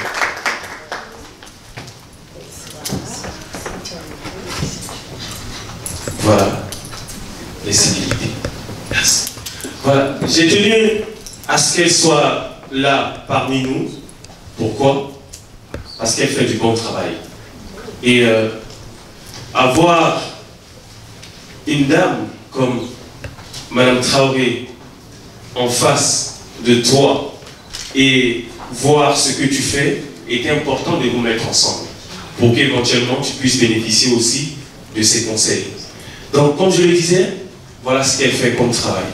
Elle va nous dire quelle est sa passion, pourquoi avoir choisi de faire de l'art? Cynthia. Bonsoir, euh, bonsoir à tous. Bonsoir Madame Traoré. Euh, je dirais, moi j'ai gardé, euh, je vous dirai peut-être après. Suis Laetitia, une Mimi. Alors, euh, je suis Cynthia Yompo. Il vous a parlé de Sun Art Com. Effectivement, Sun Art Com euh, est une initiative de ma part. Je dirais pour exprimer ma liberté. Je suis un peu identifiée comme, euh, par mes proches comme une euh. Et à un moment donné, euh, quand j'ai pris conscience que euh, ça faisait partie de moi. Après mes études de droit, parce que j'ai fait des études de droit, c'était le choix de mon père, parce qu'il voulait que je fasse du droit. Donc j'ai fait du droit jusqu'en maîtrise. Et après la maîtrise en droit, euh, j'ai voulu m'orienter en communication. Donc sur ma, toujours ma propre initiative, je me rends à Dakar pour me former en communication.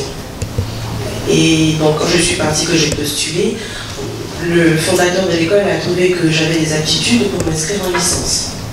Alors je me suis inscrite en, donc, en licence de communication, en option journalisme, parce que par rapport à une opportunité, je n'ai pas, pas le, cacher. Donc par rapport à une opportunité, un ami journaliste international avait estimé que j'avais la capacité euh, de présenter euh, un événement euh, euh, footballistique, je ne sais pas si ça se dit. Et il fallait, il fallait euh, quelqu'un pour animer une rubrique. Alors j'ai tout de suite couru pour me former. Et quand je suis arrivée, arrivée là-bas, pardon, je me suis rendu compte que c'est vrai dans mon enfance, mon père disait il n'est pas là ce soir, il, aurait pu me dire oui c'est vrai, que mon père a dit que j'avais commencé à lire très tôt, je pense depuis l'âge de 3 ans. Euh, donc j'avais toujours voulu euh, lire, euh, parler, mais comment le faire? Je l'avais gardé en moi. Je faisais beaucoup de dessins avant, je m'intéressais à tout ce qui était création. Je faisais j'attachais du foulard très tôt, je faisais du make-up, je ne sais pas à quel âge, mais très petit, hein, avant même l'âge de, 8 ans. Je faisais déjà des, des make-up artistiques et tout. Et donc j'avais tout ça en moi. Et comment l'exprimer? J'ai pensé que la voix, justement, de, ce choix-là à cette époque, de m'inscrire en licence pour la, formation en, journalisme était le bon choix. Je suis revenue tout de suite parce que j'avais pas. Euh, je le faisais seule et j'avais plus assez d'argent. J'avais plus rien. Je suis revenue à Abidjan j'ai postulé dans une entreprise qui m'avait retenu euh, d'abord comme commercial. En trois mois, je suis passée, euh, euh, je suis d'abord j'étais stagiaire. Après, je suis passée commercial. Après, juste après, on, l'a mis assistant commercial et, tout, de suite en un an, responsable commercial. je pars de là-bas, qu'est-ce qu'il faut faire? Mais vraiment, toujours poussé par, je ne l'assumais pas encore, c'était ma liberté. Je vais revenir à ce que vous avez dit tout à l'heure. Pourquoi là? Et justement, après ça, je pars de, l'entreprise où j'étais, responsable commercial pour un produit euh, très intéressant dans les gadgets publicitaires? Et j'ai vu que j'ai pouvais me faire des relations euh, euh, très facilement, que les gens appréciaient ma façon de présenter les produits et tout. Et à un moment donné, j'étais perturbée par tout ce que j'avais pu apprendre, j'avais pu faire des rencontres, j'avais pu vraiment échanger avec des, personnes euh, euh, comme euh, qui est là. Mais que faire? Et puis je me suis une fois de, ma tante qui m'a dit que Cynthia, écoute, on a besoin d'une personne pour gérer une galerie d'art. Ça ne m'a pas fait peur tout de suite parce que j'ai grandi bah, justement, bah, très peu on allait déjà dans des, galeries parce que mon père s'en payé. Euh, donc, ok, d'accord, j'ai des notions. Euh, je pense que tu en as les, capacités, l'aptitude, et euh, je vois que tu tournes un peu en rond, mais bon, on va te laisser, on va voir ce que tu peux bien apporter à. Je dis ok, je saute dessus. Mais vraiment parce que j'ai ressenti profondément que c'était ce qu'il fallait faire. Accepter tout de suite et j'y suis allée. Et euh, pendant tout ce temps, pendant ma petite expérience en tant que gérante de galerie, une galerie quand même euh, assez importante ici à Dijon, je devais gérer des, ateliers. Et euh, petit à petit, j'ai commencé à écrire des âmes de langue. Voilà Donc, si je comprends bien, sans vous couper, le déclic est venu de, de votre tante le déclic euh, est venu, je ne dirais pas de ma tante. L'opportunité est arrivée certainement au moment où il le fallait pour moi. je dirais. Elle a été un canal très puissant qui m'a permis d'avoir, euh, euh, je dirais, un instrument, d'accord, qui m'a, j'ai écrit Sun Art pendant tout le temps, euh, pendant deux ans. D'accord. Je nourrissais Sun Art de, de, tout, de, tous les manques que je voyais, euh, au-delà de tout ce qu'on peut penser des grandes galeries, euh, ce que je voyais des artistes. Je voyais que les artistes étaient malheureux, tristes, et très souvent, euh, ils, ils produisent du wow, mais il n'y avait, rien qui pour les accompagner en fait. Bon, moi voilà, en fait, si vous voulez, j'ai raconté tout ça pour vous dire que moi, c'est ma liberté qui m'a qui m'a poussé à voilà. On va vous demander un exercice très important. Vous allez vous lever pour nous expliquer les différents tableaux. Vous allez commencer par celui-là. S'il vous plaît. Celui-là. Alors, je vais faire la. Euh, alors, cette œuvre est de Ozwa. Ozwa est une artiste euh, peintre, une plasticienne de la structure Sun Art. Voilà. Et donc, euh, sur cette toile, vous avez une représentation du Nouvel An. Donc, joie du Nouvel An. Alors, pour le Nouvel An, on se dit bonne année, meilleurs vœux. Euh, cette œuvre est juste pour exprimer que le nouvel an est censé être euh, un revêtement. D'accord? Donc, on laisse derrière soi tout ce qui est tristesse, peine, difficulté euh, de l'année précédente pour faire, euh, pour faire face à tout ce qu'on se souhaite de, de bien, de meilleur. Donc, à travers euh, cette œuvre, qui est sur une technique assez particulière, donc vous avez de l'acrylique et des morceaux de paille.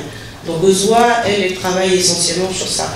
Des morceaux de paille que vous mettez ensemble, elle fait du collage, et puis elle vous ressort, euh, euh, ça peut être très abstrait, semi-abstrait, comme ce que vous voyez là, et voilà. Ok. Alors, et celui-là, sous vos ovations, s'il vous plaît. Et celui-là. Euh, ce tableau, je l'aime particulièrement parce que, voilà, Farafine Amoussou, le titre de cette œuvre.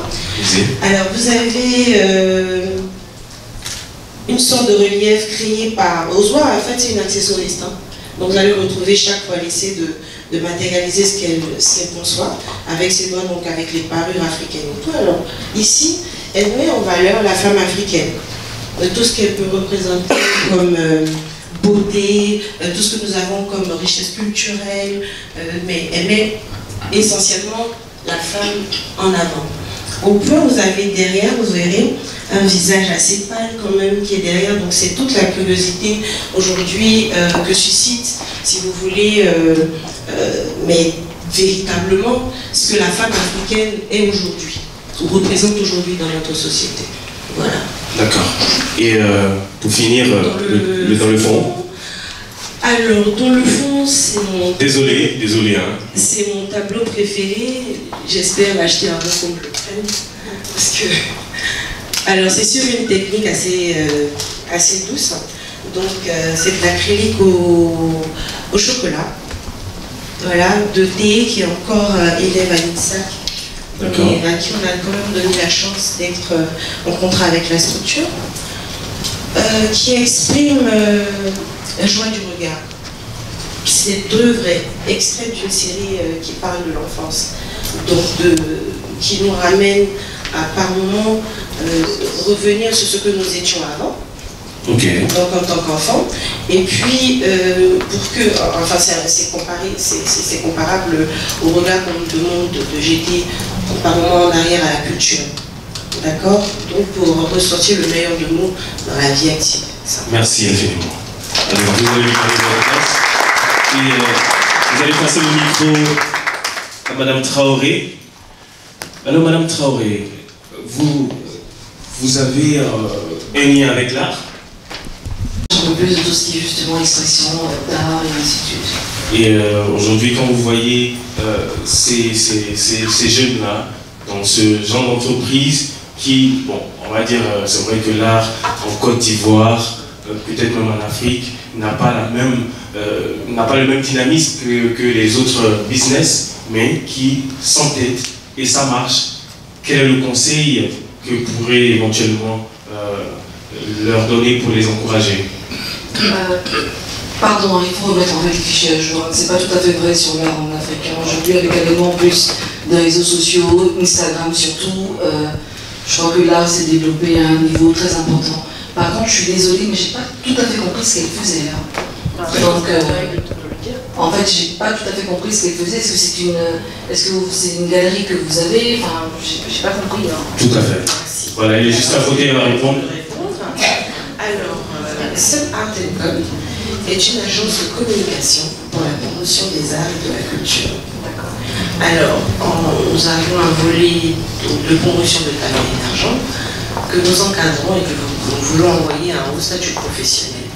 Donc, visibiliser d'abord la scène locale et faire connaître. Euh, arriver à ouvrir pour que les gens comprennent que l'art n'est pas que pour les gens riches.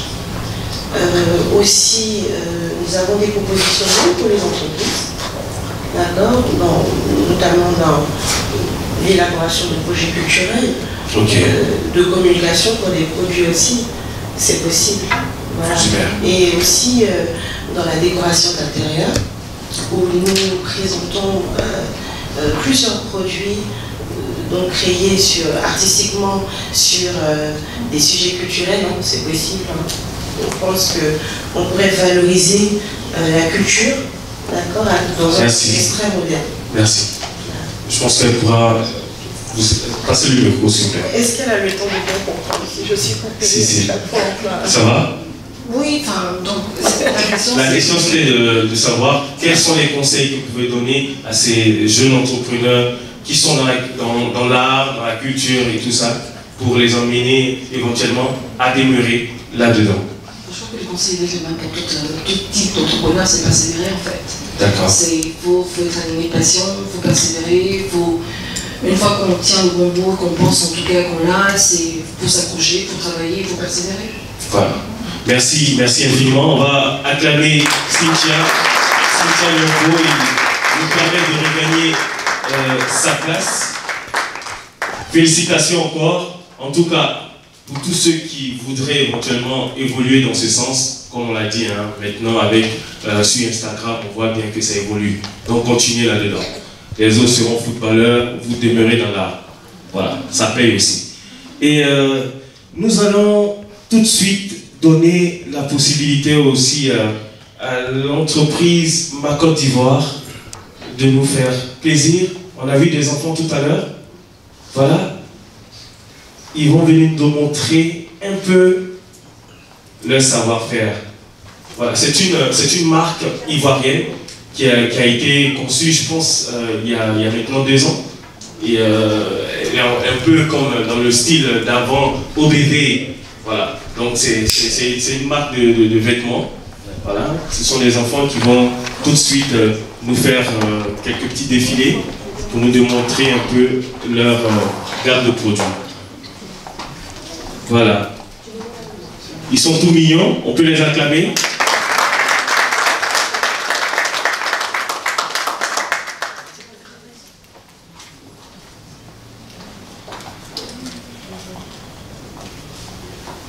S'il vous plaît, le responsable de, ma Côte d'Ivoire, venez.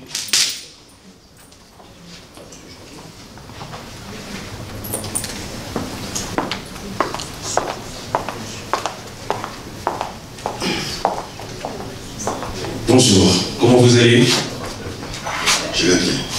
Alors, ma Côte d'Ivoire a été créée depuis combien de temps? Ma Côte d'Ivoire, ça fait deux ans que ça existe. Voilà, ça a été difficile.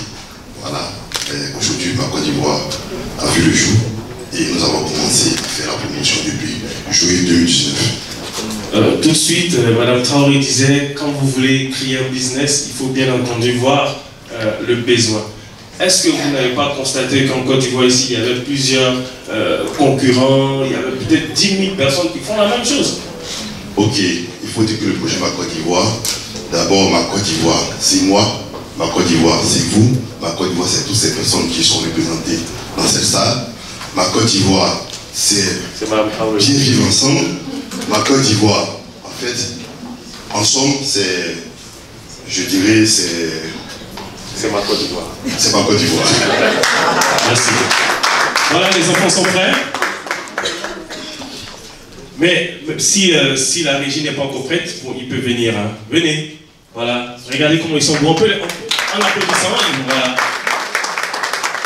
Il est tout mignon. Il est bien habillé. Voilà. Tu pars de l'autre côté. Voilà, on va de l'autre côté. Choupi, viens. Ouh, tu es timide.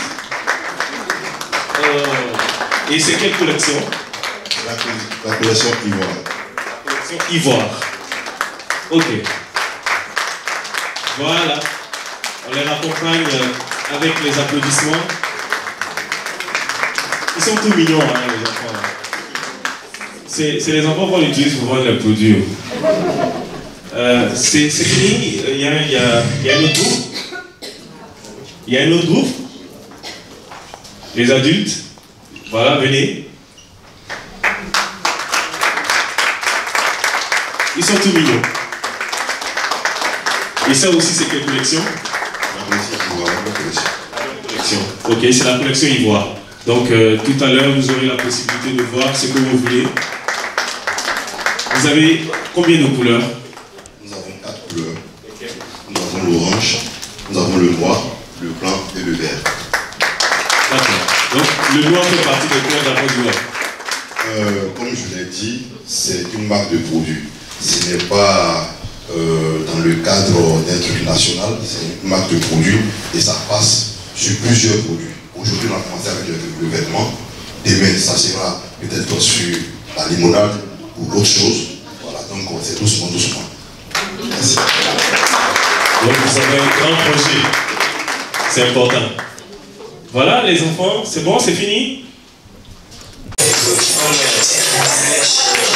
Les enfants sont magnifiques.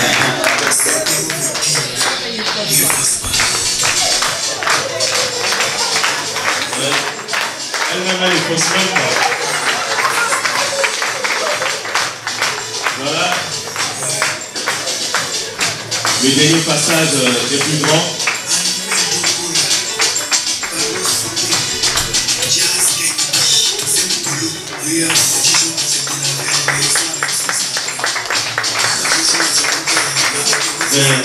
Est-ce que c'est possible de savoir, euh, on va pas dire le vrai prix, hein, on va donner la tranche.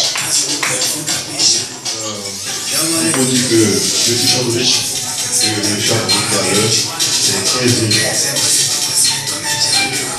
15 000 francs. Vous n'avez pas bien entendu 15 000 francs. C'est pas cher, 15 000 francs. C'est pas cher, n'est-ce pas? Alors, ok. Merci beaucoup. C'est bon? Merci. Merci infiniment. Merci, monsieur. Oui, Richard. Voilà. Et euh, oui? Vous pouvez, vous pouvez nous suivre sur www.macodivoire.net. Voilà. Voilà, merci. Vous pouvez nous suivre sur le site internet www.macodivoire.net. Merci. Super. Et tout. Vous savez, aujourd'hui, quand on échangeait avec euh, Madame Traoré, elle a dit qu'elle s'est appuyée sur quelqu'un, notamment Monsieur Fabrice Savignon, qui est son mentor. J'ai pas dit ça. C'est ce que façon. Bon, venez s'il vous plaît, pour que je puisse répondre mon J'ai propos. juste dit en fait qu'il était un moment clé en me demandant d'écrire mon projet professionnel. C'est pas la même chose. D'accord. Mais qui est votre mentor? J'en ai plein, je nourris d'expériences des uns et des autres. Moi, je n'identifie pas. Fabrice fait partie des, des personnes, en tout cas, qui sont euh, parmi mes mentors, mais je n'ai pas un mentor. Non. Je n'identifie pas euh, à une personne en particulier. D'ailleurs, c'est choquant à dire, je n'ai même pas de modèle, par exemple. Donc, euh, je pense que je me nourris des expériences, des uns des autres, des bonnes expériences, parce que chacun a son expérience. Je ne suis pas sûre que j'aurais pris les mêmes décisions ou, ou posé les mêmes actes dans les mêmes situations. Si, si. Donc en général, euh, je- je- j'étudie les beaux parcours, je regarde ce qu'il y a à je mets ce qu'il y a à laisser. Voilà. D'accord. Désolé. Merci encore pour la précision. Et euh, nous avons ici Monsieur Wilfried Assis, qui est le fondateur de Mentor Afro. Lui aussi a été un pur produit du mentorat. Nous allons le recevoir. Il va nous parler de son concept et de ce qu'il est en train de poser comme action pour permettre aux jeunes de maintenant d'être accompagnés, d'être coachés par leurs dévanciers, et pour leur permettre aussi de pouvoir avoir un parcours exceptionnel. Monsieur Wilfried Assis, sous vos ovations.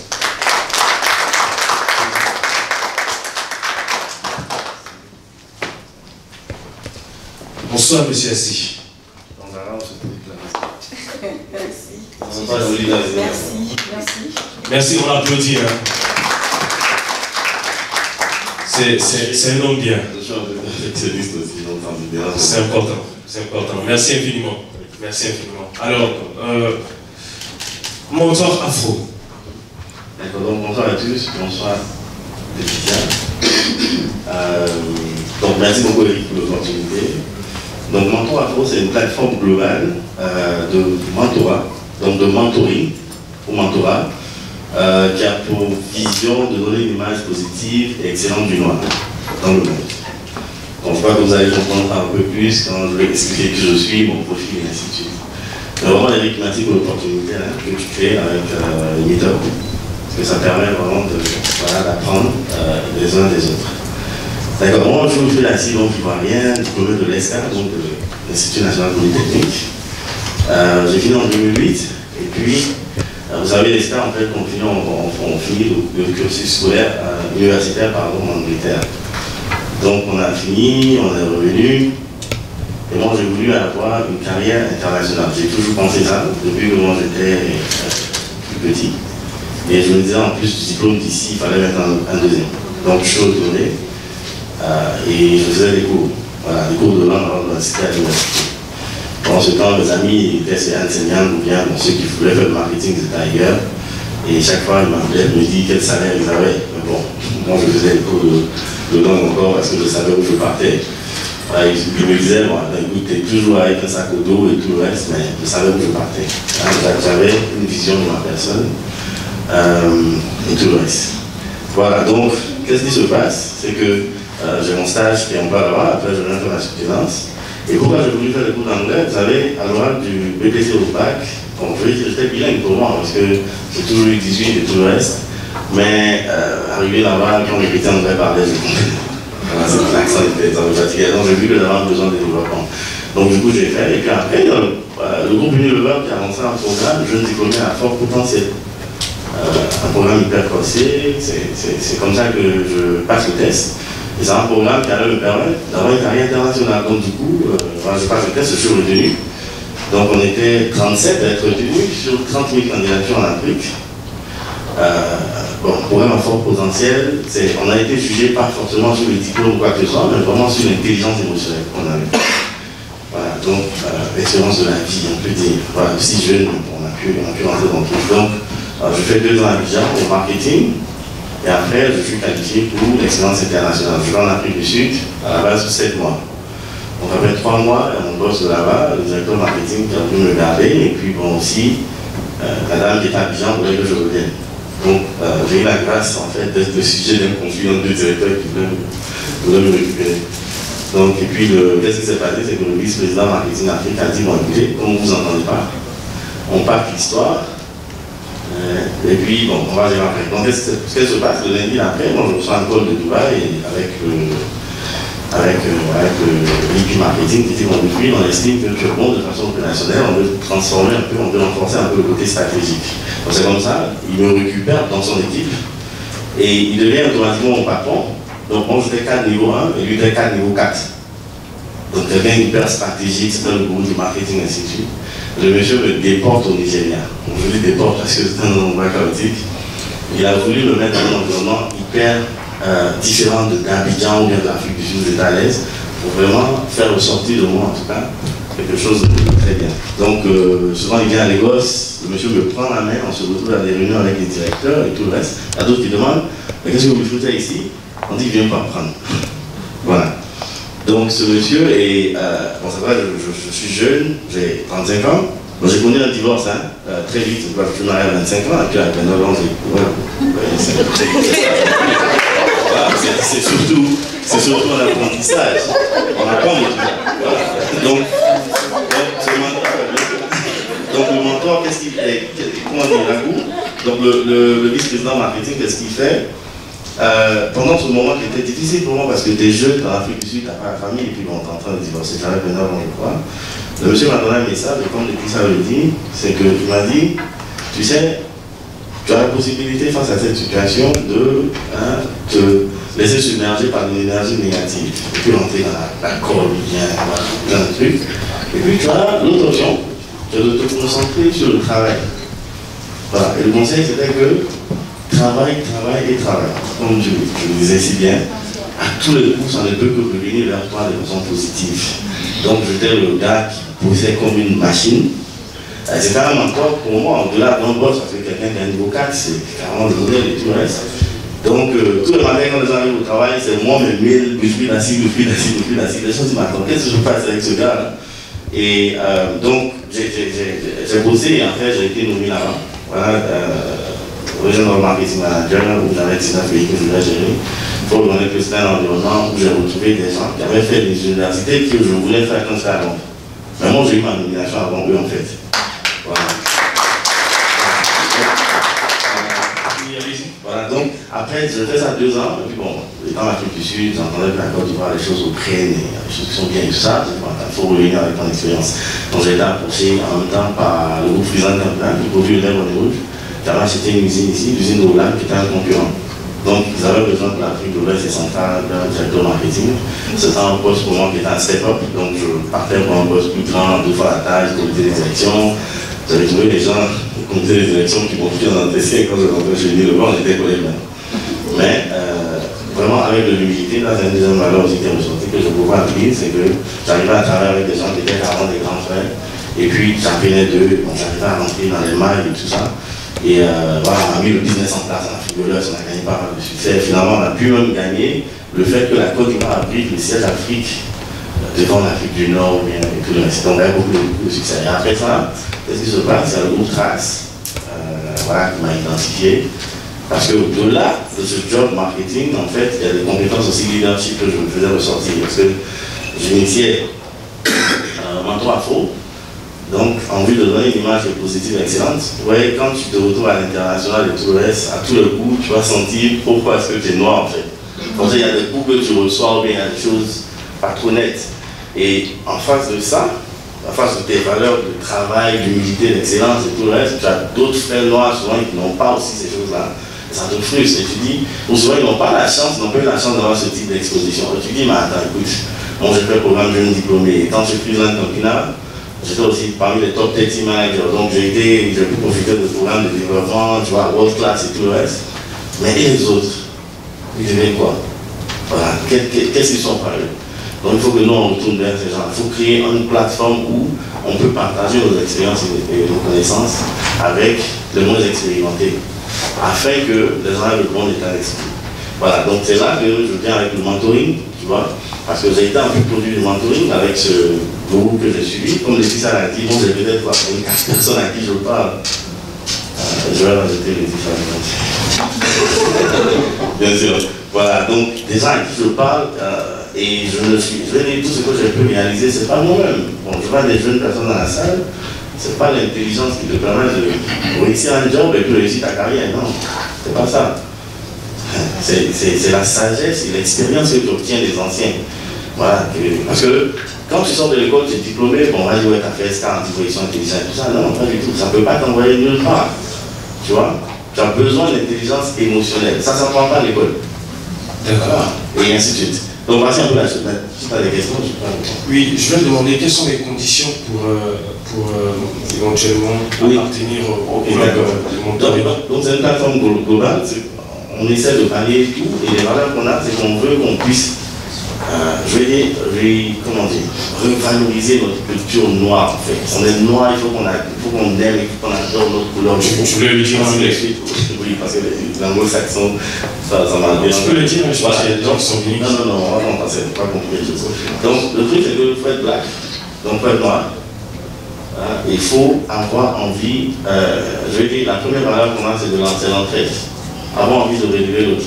On ne va pas venir ressasser ici les problèmes que nous avons, la jalousie, l'hypocrisie ou un truc, tout ça. On est à ce stade.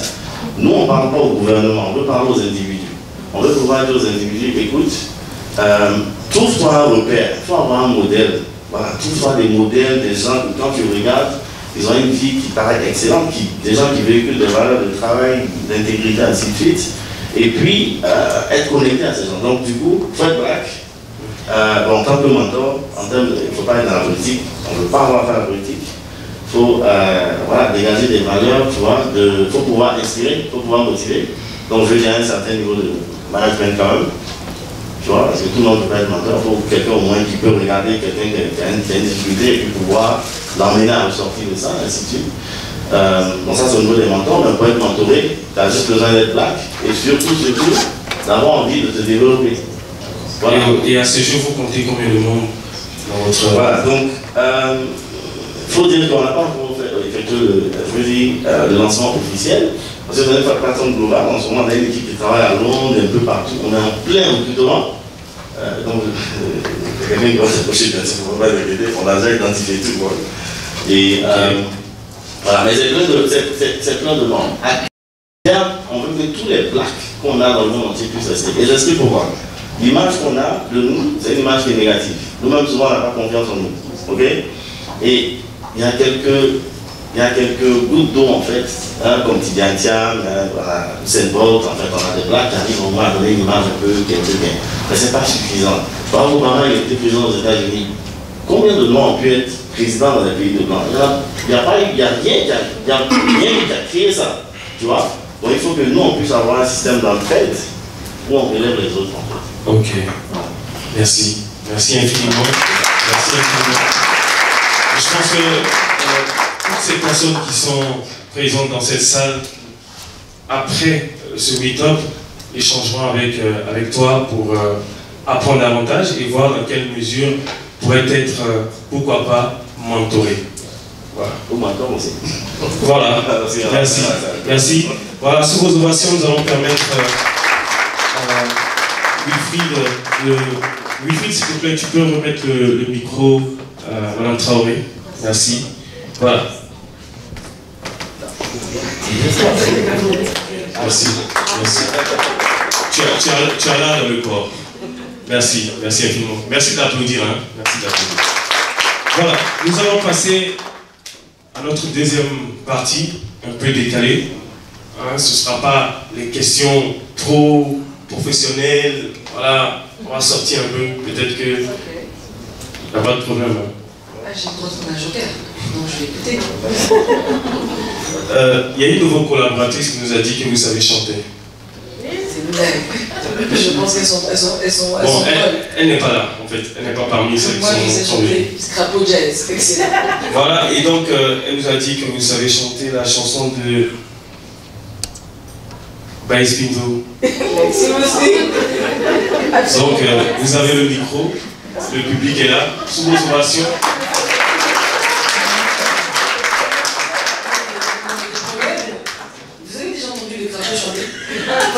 C'est justement, c'est justement ce que vous voulez entendre, non? Ah Voilà.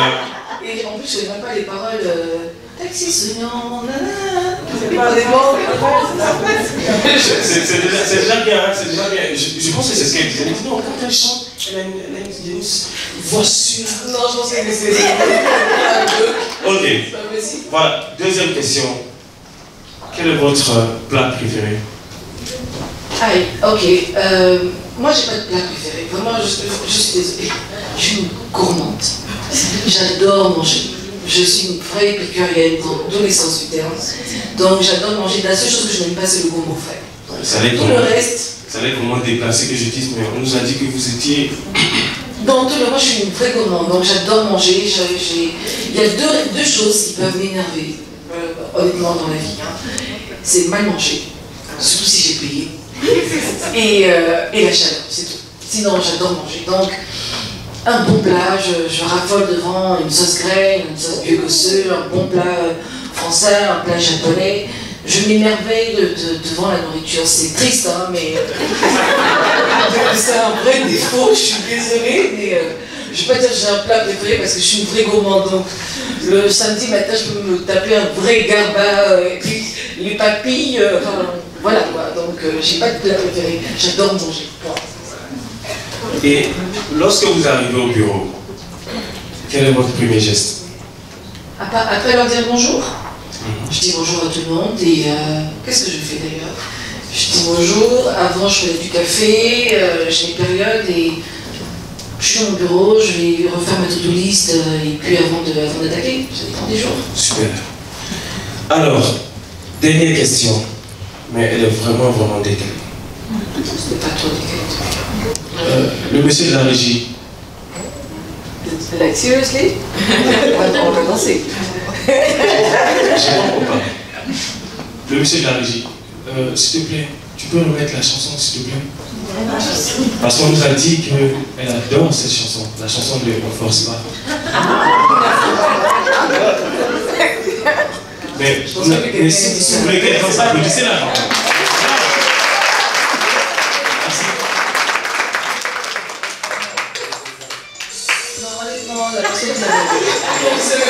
Et ça, c'était le dernier message que j'ai reçu. Eric insiste là-dessus. C'est la partie qu'elle adore. Donc, et surtout ne filmez pas. Non, honnêtement, je suis désolée, je sais pas C'est le joker Oui, par exemple. Ok, pas de souci. Bon, c'était juste pour vous charité. Merci, merci, merci, merci. Voilà, c'était juste pour vous déranger. Comment? J'ai pas encore été en boîte pour apprendre la danse. Parce que je regarde pas la télé. Donc du coup, j'ai pas encore été dans un. Il faut que j'aille deux, deux fois en boîte que je saurais danser là. Je, je, je, je peux voir avec, euh, avec euh, Reine Esther. Reine Esther. Reine Inès. Désolé. Je comprends pourquoi elle n'a pas bougé la tête. Reine Inès, on va voir ensemble euh, un jour, euh, et puis on va la réinviter, et puis on va mettre la, la chanson de l'enfance. Merci. nous allons passer à la phase de questions-réponses. Vous avez entendu Madame Traoré s'exprimer sur son parcours, ses succès, ses échecs et euh, sa vision aussi de l'entrepreneuriat. Vous avez certainement des questions euh, pour elle. Alors, je vais prendre une série de trois questions et euh, après, nous allons lui laisser la possibilité de répondre et entamer une deuxième série. Alors, qui a une question pour Madame Traoré? Ne soyez pas timide. Hein. Vous, tout ce que vous avez entendu. Hein. Madame, vous vous présentez et vous posez votre question. Bonjour, je suis Cynthia Gara. Je suis dans les énergies renouvelables. Ma question est, en tant que femme entrepreneur et ayant en face une femme qui, est serial entrepreneur, J'aimerais savoir comment vous comportez par rapport aux situations de proposition indécente. C'est vrai que la femme déjà devant un dossier d'un homme, on est déjà un peu défavorisé. Et généralement, ce sont des propositions indécentes, souvent ouvertes ou voilées. J'aimerais savoir comment vous vous y prenez, comment vous avez fait jusqu'à présent pour vous en sortir. Merci. Ce sera tout pour moi. Je réponds même temps Je parle. Non, la deuxième question. La deuxième question. Ok. Une autre question Bon, allez-y. Alors, euh, merci Cynthia pour la question. Euh, je vous décevoir, ça m'est jamais arrivé. Pardon? Je suis désolée, je vous décevoir, mais ça m'est jamais arrivé. Vous savez pourquoi? On dit, euh, il disait tout à l'heure, l'anglais est plus chic, you gotta have the attitude. Quand vous arrivez quelque part, je ne sais pas comment vous allez faire pour essayer de faire une proposition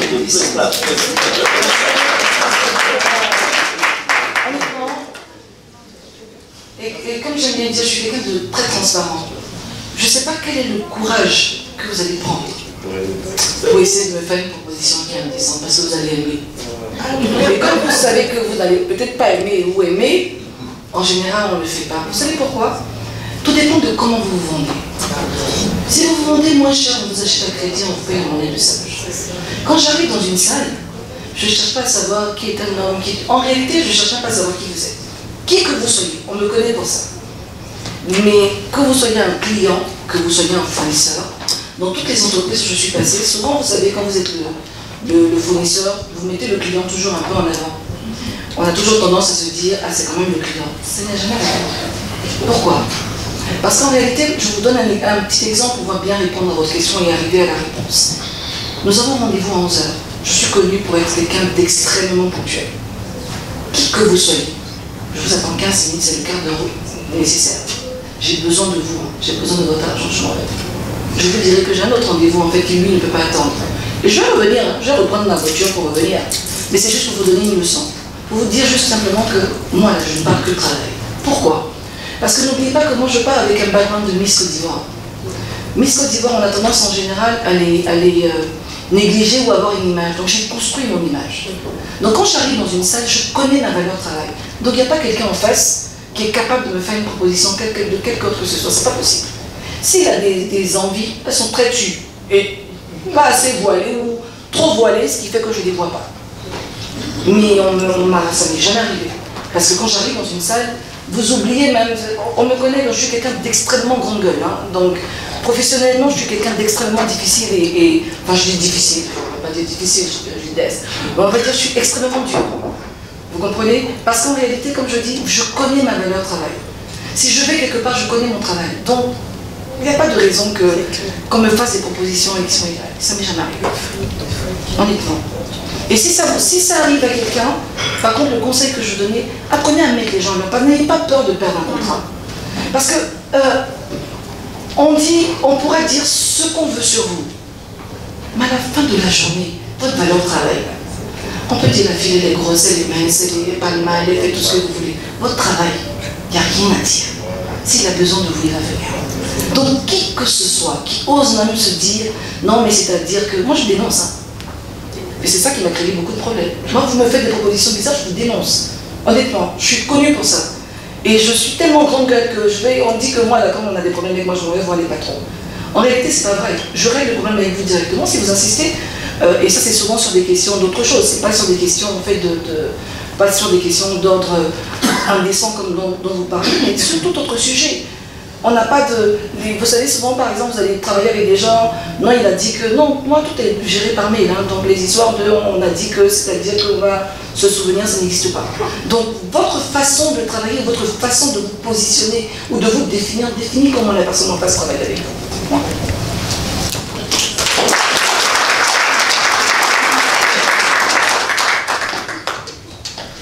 Alors, bonsoir C'est un réel plaisir pour moi d'être aujourd'hui euh, à cet événement. Alors, je suis Miss Dakori, Edith Dakori, euh, CEO d'une agence de voyage qui organise euh, les séjours touristiques événementiels aussi, pour ne dire que ça. Alors, ma question, elle est, on va dire, euh, d'ordre professionnel, oui, mais un peu poussée. J'aimerais bien savoir si vous arriverait avec votre programme assez chargé, est-ce qu'il serait possible que vous soyez, euh, on va dire, une sorte de mentor pour quelqu'un qui, euh, je veux dire, euh, je sais pas comment dire. Pour vous? Oui. oui, parce que c'est quelque chose qui est très, qui est pensé depuis longtemps, sachant que vous êtes quelque part dans mon set, mais je n'ai jamais eu ce courage-là, je veux dire, de venir, sachant, je veux dire, vous m'avez toujours ouvert les pas, oui, mais je n'ai jamais tenté. Alors là, je, je pose mes cartes. Non, il y, a, il y a quelque chose comme ça. Honnêtement, il n'y a aucun problème, Edith. En fait, euh, je suis ouverte hein, et je fais déjà beaucoup de mentorat, euh, il faut savoir. Euh, je le fais également avec le programme, par exemple, Ayana. Et il y a d'autres personnes que je coach, que je suis. Donc je peux vous dire simplement, il n'y a aucun problème, Edith. On, on, se connaît en plus. Comme il a dit, je connais bien Edith, c'est une amie à ma petite sœur. Donc ça avec plaisir. Euh, on va gérer, comme on dit dans mon emploi du temps, on se comprend. Donc on va, on va gérer en fait, mais il euh, n'y a pas de problème. Ça me permet en même temps, Eric, si vous permettez, de, Parce que je suis souvent sollicitée justement pour tout ce qui est mentorat. Euh, vous savez pourquoi souvent les choses sont refusées hein? Pour avoir un bon mentoring, il faut des bonnes menties.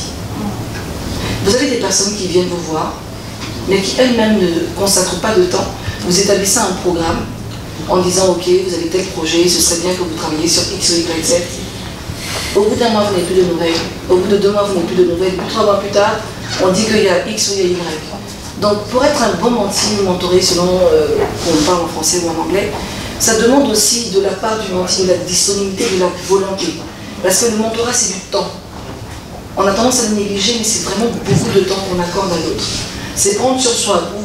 Les seules choses que je refuse, par exemple, dans le mentorat, c'est quand j'ai des gens qui viennent me voir pour me dire Je veux monter une conciergerie de luxe, j'aimerais que vous soyez mon mentor. Non, je ne, je ne travaille pas avec les concurrents. Donc, euh, c'est juste ça, mais c'est avec plaisir. Bien Merci. Je suis. euh, Il y a une question là aussi. Il y a une question devant Ok. En attendant, les, les étudiants, euh, je le disais tout à l'heure que leur billet a été.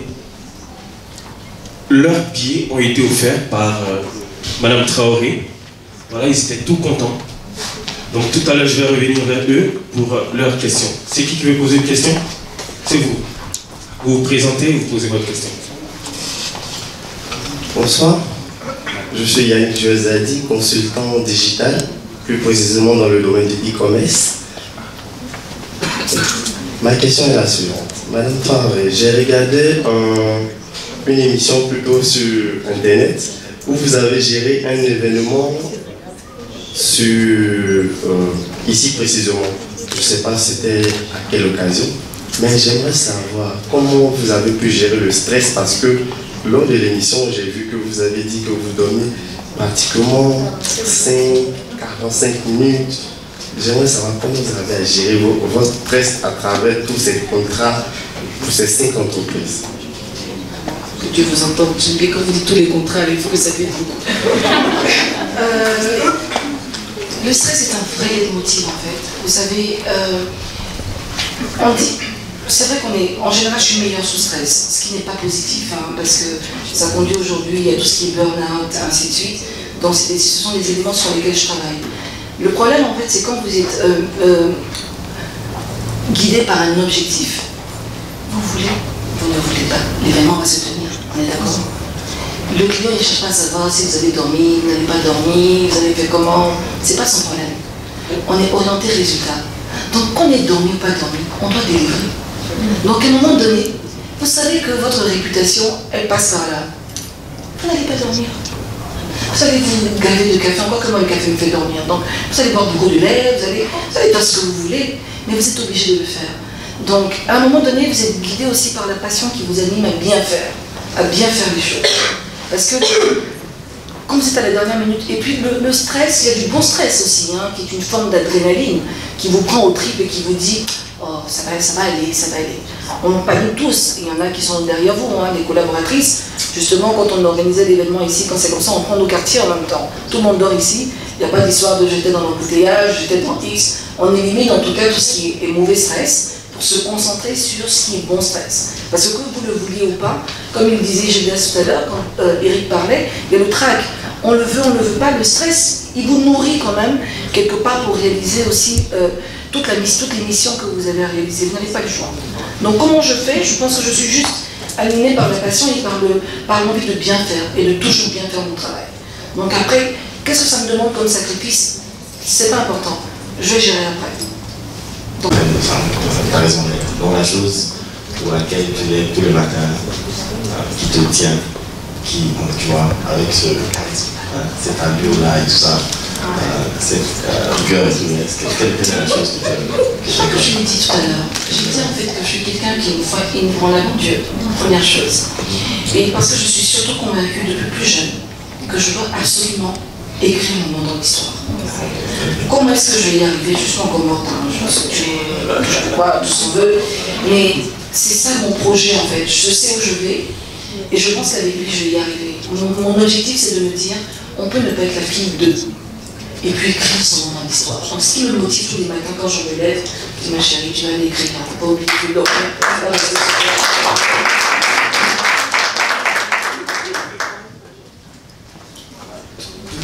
Tout de suite, là, même tout le monde veut poser des questions. D'accord, on commence par elle et on revient vous. D'accord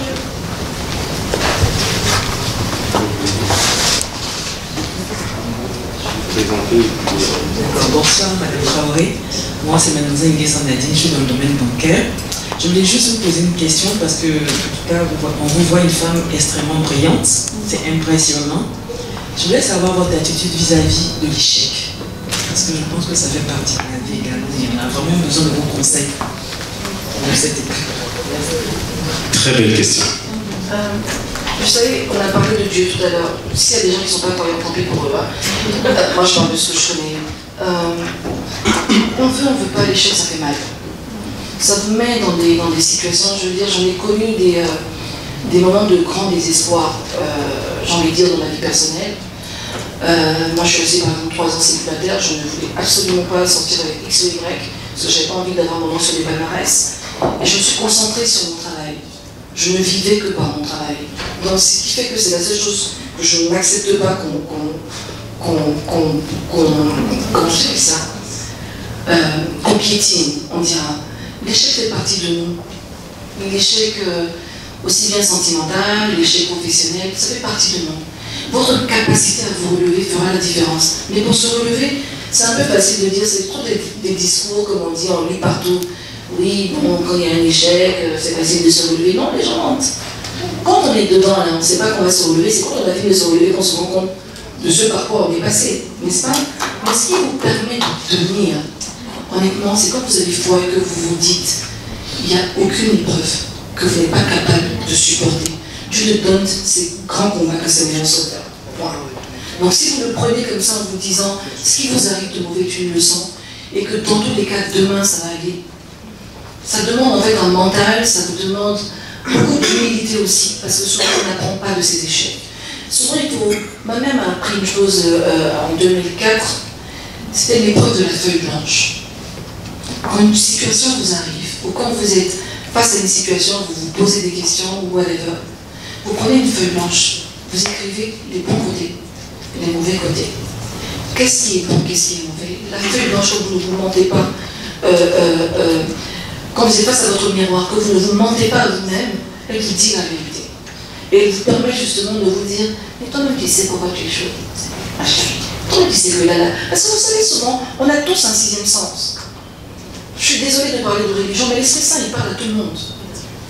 Vous vous, arrivez souvent dans des situations où vous savez que c'est pas bon. Et vous insistez. Parce que vous n'écoutez pas cette petite voix. Mais vous deviez passer par là, parce que vous devez apprendre quelque chose. Donc c'est pas grave.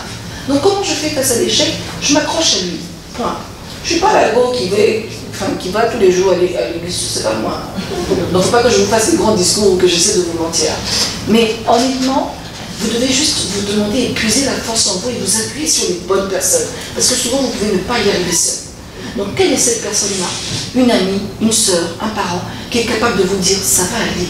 Et ça va, il résonne comme un je vous mets de l'essence, vous relevez.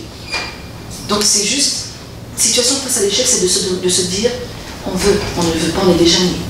Donc, ça va passer. Merci infiniment. Une autre question? Bonsoir Madame Traoré, bonsoir tout le monde. Je suis Mademoiselle Sarah Tiamela. Je suis euh, étudiante en expertise comptable et à côté je fais un peu, je suis une brouilleuse comme j'aime le dire. Parce que je suis un peu de tout, comme vous l'avez dit, j'aime tout ce qui est tout ce qui est opportunité. Quand il y a des campagnes, je fais des t-shirts de campagne, quand il y a des choses à faire, je fais, je fais tout pour avoir de quoi payer mes études et tout. La question, c'est, elle rejoint un peu la question de la dame qui a parlé tout à l'heure. J'aimerais savoir, c'est quoi vos, qu'est-ce qui étaient vos plus gros échecs et quelle était votre plus belle réussite en tant qu'entrepreneur? Je crois que j'ai répondu un peu quand même. hein. Quand j'ai parlé de, réussite, vous savez, toutes moi pour moi, quand je gagne une petite victoire, je fête. Non, non, vous savez, parce qu'on n'est pas assez, on ne fait pas assez preuve de gratitude pour les petites choses. Moi, une petite victoire, un petit contrat de 100 000, mais je fête. Non, je suis sérieuse en plus. Quand il y a quelque chose qui rentre, toute, toute petite victoire, pour moi, est une grande victoire. Vous comprenez ce que je veux dire? Parce que je viens de loin. Donc en réalité, comme je vous l'ai dit tout à l'heure, ma plus belle réussite, c'est d'être debout. Parce qu'il m'est arrivé quand même trop de choses, il y a plein de choses qu'on a vues dans la presse, Il y a- on, a, on a tout essayé. Comme je dis, à the end of the day, là, je suis debout, je suis assise en train de venir vous parler. Ça, c'est ma plus grande victoire. Vous comprenez? Donc mes plus grands échecs, je crois que j'en ai, parlé, j'en ai eu plein, comme n'importe quel être humain. Mais simplement, je n'en fais pas. Comment? Voilà. Vous, vous comprenez Je veux dire, c'est. Quand vous vous, apitoyez euh, sur, le, sur le négatif, vous n'avancez pas. Vous comprenez? Après, est-ce que peut-être l'âge aussi qui fait mes expériences, euh, parce que je suis quelqu'un d'extrêmement. On me connaît comme quelqu'un. Le monsieur parlait tout à l'heure de stress. Mais ceux qui me connaissent au quotidien vous diront on a toujours l'impression que je ne suis jamais stressée. Pourquoi? Ma phrase, je vous assure, hein, c'est une phrase terre, je est déjà né. Donc on va avancer. Vous comprenez? Donc je veux dire, je ne veux pas parler de plus gros échecs parce que pour moi, à la limite, c'était des échecs, ok, oui, sont derrière moi. Il y en aura encore des plus grands devant. Mais je ne m'attarde pas dessus, c'est pas important. Ce qui est important, c'est qu'on ne s'entoure que d'ondes positives. Et quand vous pratiquez en plus la gratitude pour les petites choses, je vous assure que vous vivez heureux. C'est le secret. Non, j'ai pas eu telle chose, ça vraiment ça me fait. Mais non, c'est pas grave, c'est que Dieu n'a pas voulu, puis la vie continue. Point. Vous restez, soyez content de, toutes petites choses. Vous voyez, on, les gens commencent à poser la question justement des grandes victoires. C'est quoi une grande victoire? Expliquez-moi. Vous pouvez avoir un marché de 100 millions, mais vous gagnez 1 million dessus. C'est pas une grande victoire. Tout comme vous pouvez avoir un marché de 50 millions, puis votre, votre bénéfice est de 20 25 millions. Quelle est la grande victoire par rapport à quoi elle se, elle se caractérise par rapport à quoi Une grande victoire, ça peut être. Vous avez eu un parent malade qui, est- qui, est- qui a réussi à vaincre la maladie, c'est une grande victoire. Et moi, la grande victoire, c'est de me lever tous les matins et de respirer, et puis de venir m'asseoir devant vous ici, vous venir parler. Ça, c'est une grande victoire. Vous comprenez Merci.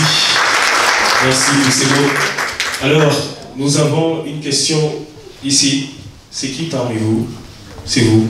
Voilà, ce sont les étudiants d'Agitel Formation. Voilà.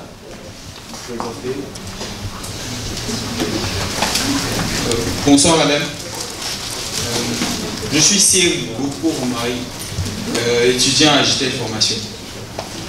D'abord, on vous remercie pour les tickets parce qu'on a appris que c'est vous qui nous. Merci madame. Ensuite, ma question est la suivante, c'est vous en tant que, euh, disons, responsable, en tant que leader pour nous, vous êtes directrice d'entreprise, disons, ou vous êtes responsable de, de- de plus ou moins de bon nombre de personnes. Comment vous arrivez à gérer? Parce que je me dis que être chef d'entreprise, ça revient à gérer un tas de personnes, les humeurs de personnes et les attitudes des gens aussi. Je me demande comment vous arrivez à gérer toutes ces humeurs, en plus les vôtres. Comment vous arrivez à gérer ces humeurs? Merci. Merci. Merci beaucoup. Merci pour la Merci. question. J'aime bien la fin en plus de, en plus de mienne, en plus de mes humeurs. Écoutez, euh, euh, manager une entreprise, entreprise, se- se- on dit lead by example. Je crois que c'est la clé d'un bon management. Moi, j'ai eu des managers exécrables, par exemple, qui, euh, étaient des pervers narcissiques, euh, qui vous ont tout fait. Je me suis toujours juré de ne jamais reproduire ce genre de schéma. Ça m'intéresse pas. Les gens viennent travailler, en fait, euh, du matin au soir, ils passent la plupart de leur temps au travail. Parce que le reste du temps, là, vous passez un peu de temps, vous rentrez à 18h30, vous tombez dans les embouteillages, 20h vous êtes chez vous, 2-3 heures après vous dormez, tout le reste du temps vous dormez. Donc vous passez le plus clair de votre temps au travail. C'est de ma responsabilité de dirigeant de m'assurer d'avoir un cadre qui soit agréable pour améliorer la productivité de mes, de mes, de mes collaborateurs. Donc, ma façon de manager, je traite les gens comme j'aimerais qu'on me traite. Chez moi, les gens parlent librement. Il y en a qui sont là, hein, que j'adore charrier. Une qui est là, euh, que j'aime, on appelle Carla Dadier de l'agence, que je vais citer. Euh, elles sont là, elles peuvent vous dire, elles peuvent témoigner. Je suis pas de. Chez nous, on parle, on discute. euh, Il n'y a pas d'histoire de. Je crois que je me comporte d'ailleurs un peu trop avec elles comme leur grande sœur. Donc souvent, je leur rappelle que je suis leur patronne. Euh, c'est le problème quand vous embauchez que des femmes. Euh, vous devez gérer les humeurs des femmes, vous comprenez. Mais euh, chacune a compris également, je leur dis toujours, c'est très difficile de travailler entre femmes. Mais vous devez toujours comprendre en fait que nous avons un seul objectif qui nous commun, c'est ce pourquoi nous sommes ici. Donc à la fin, c'est je traite les gens avec respect. Euh, J'ai toujours traité les gens avec respect. Je n'ai pas de, je fais pas de grosses colères. Il paraît que j'en ai fait une il y a quelque temps en décembre. Vous dites, mais ça m'a un peu fait n'importe quoi, on dira. Mais je ne, honnêtement, c'est la façon de gérer les gens. on dit lead by example. Je crois que c'est le, vous, vous, vous, managez par l'exemple. Donc je ne fais pas, comme je dis, je suis très poli, je suis quelqu'un d'extrêmement poli, je me, je n'ai pas un mot de trop, je ne suis pas dans les... Vous savez, il y a beaucoup de patrons, par exemple, qui pensent que pour être patron, il insulter les collaborateurs, vous criez. Non, la meilleure des autorités, c'est la compétence. Tout le reste, c'est du bavardage. Vous n'avez pas besoin de prouver que vous êtes le patron parce que quand vous criez, ça c'est des gens qui n'ont pas confiance en eux. Quand vous connaissez, vous connaissez. Donc, vous avez une autorité naturelle. Votre leadership est naturel. Donc, je n'ai pas de. Mon mot de management est très participatif. Ce sont des réunions, c'est. euh, je vais arriver, je, vais- je un peu tout le monde. C'est. On- on- comme on dit, on a le chaud, le froid, mais je ne vais jamais avoir un mot de trop parce que je n'aurais pas aimé que quelqu'un le fasse pour moi. Je n'ai pas aimé quand j'étais en entreprise, dans ma dernière entreprise, donc je ne le reproduis pas, tout simplement. La meilleure autorité, c'est là J'ai rien entendu. La meilleure autorité, c'est là Merci. Je pense que à travers ce mot-là, on va mettre fin à la série des questions-réponses. Euh, il y a le groupe euh, Sounou qui a bien voulu vous offrir un petit présent. C'est la nouvelle année. Et puis, euh, au Meetup Business, on est tous gentils ici. Donc, euh, Monsieur Gildas qui va. Voilà. Voilà. Donc, euh, voilà. Ovations, bien sûr. J'espère que le prochain invité du Meetup, ça sera bon. Voilà. C'est bon? Euh,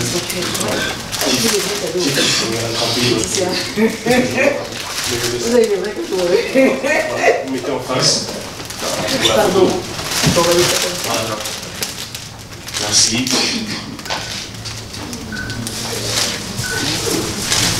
Voilà, merci.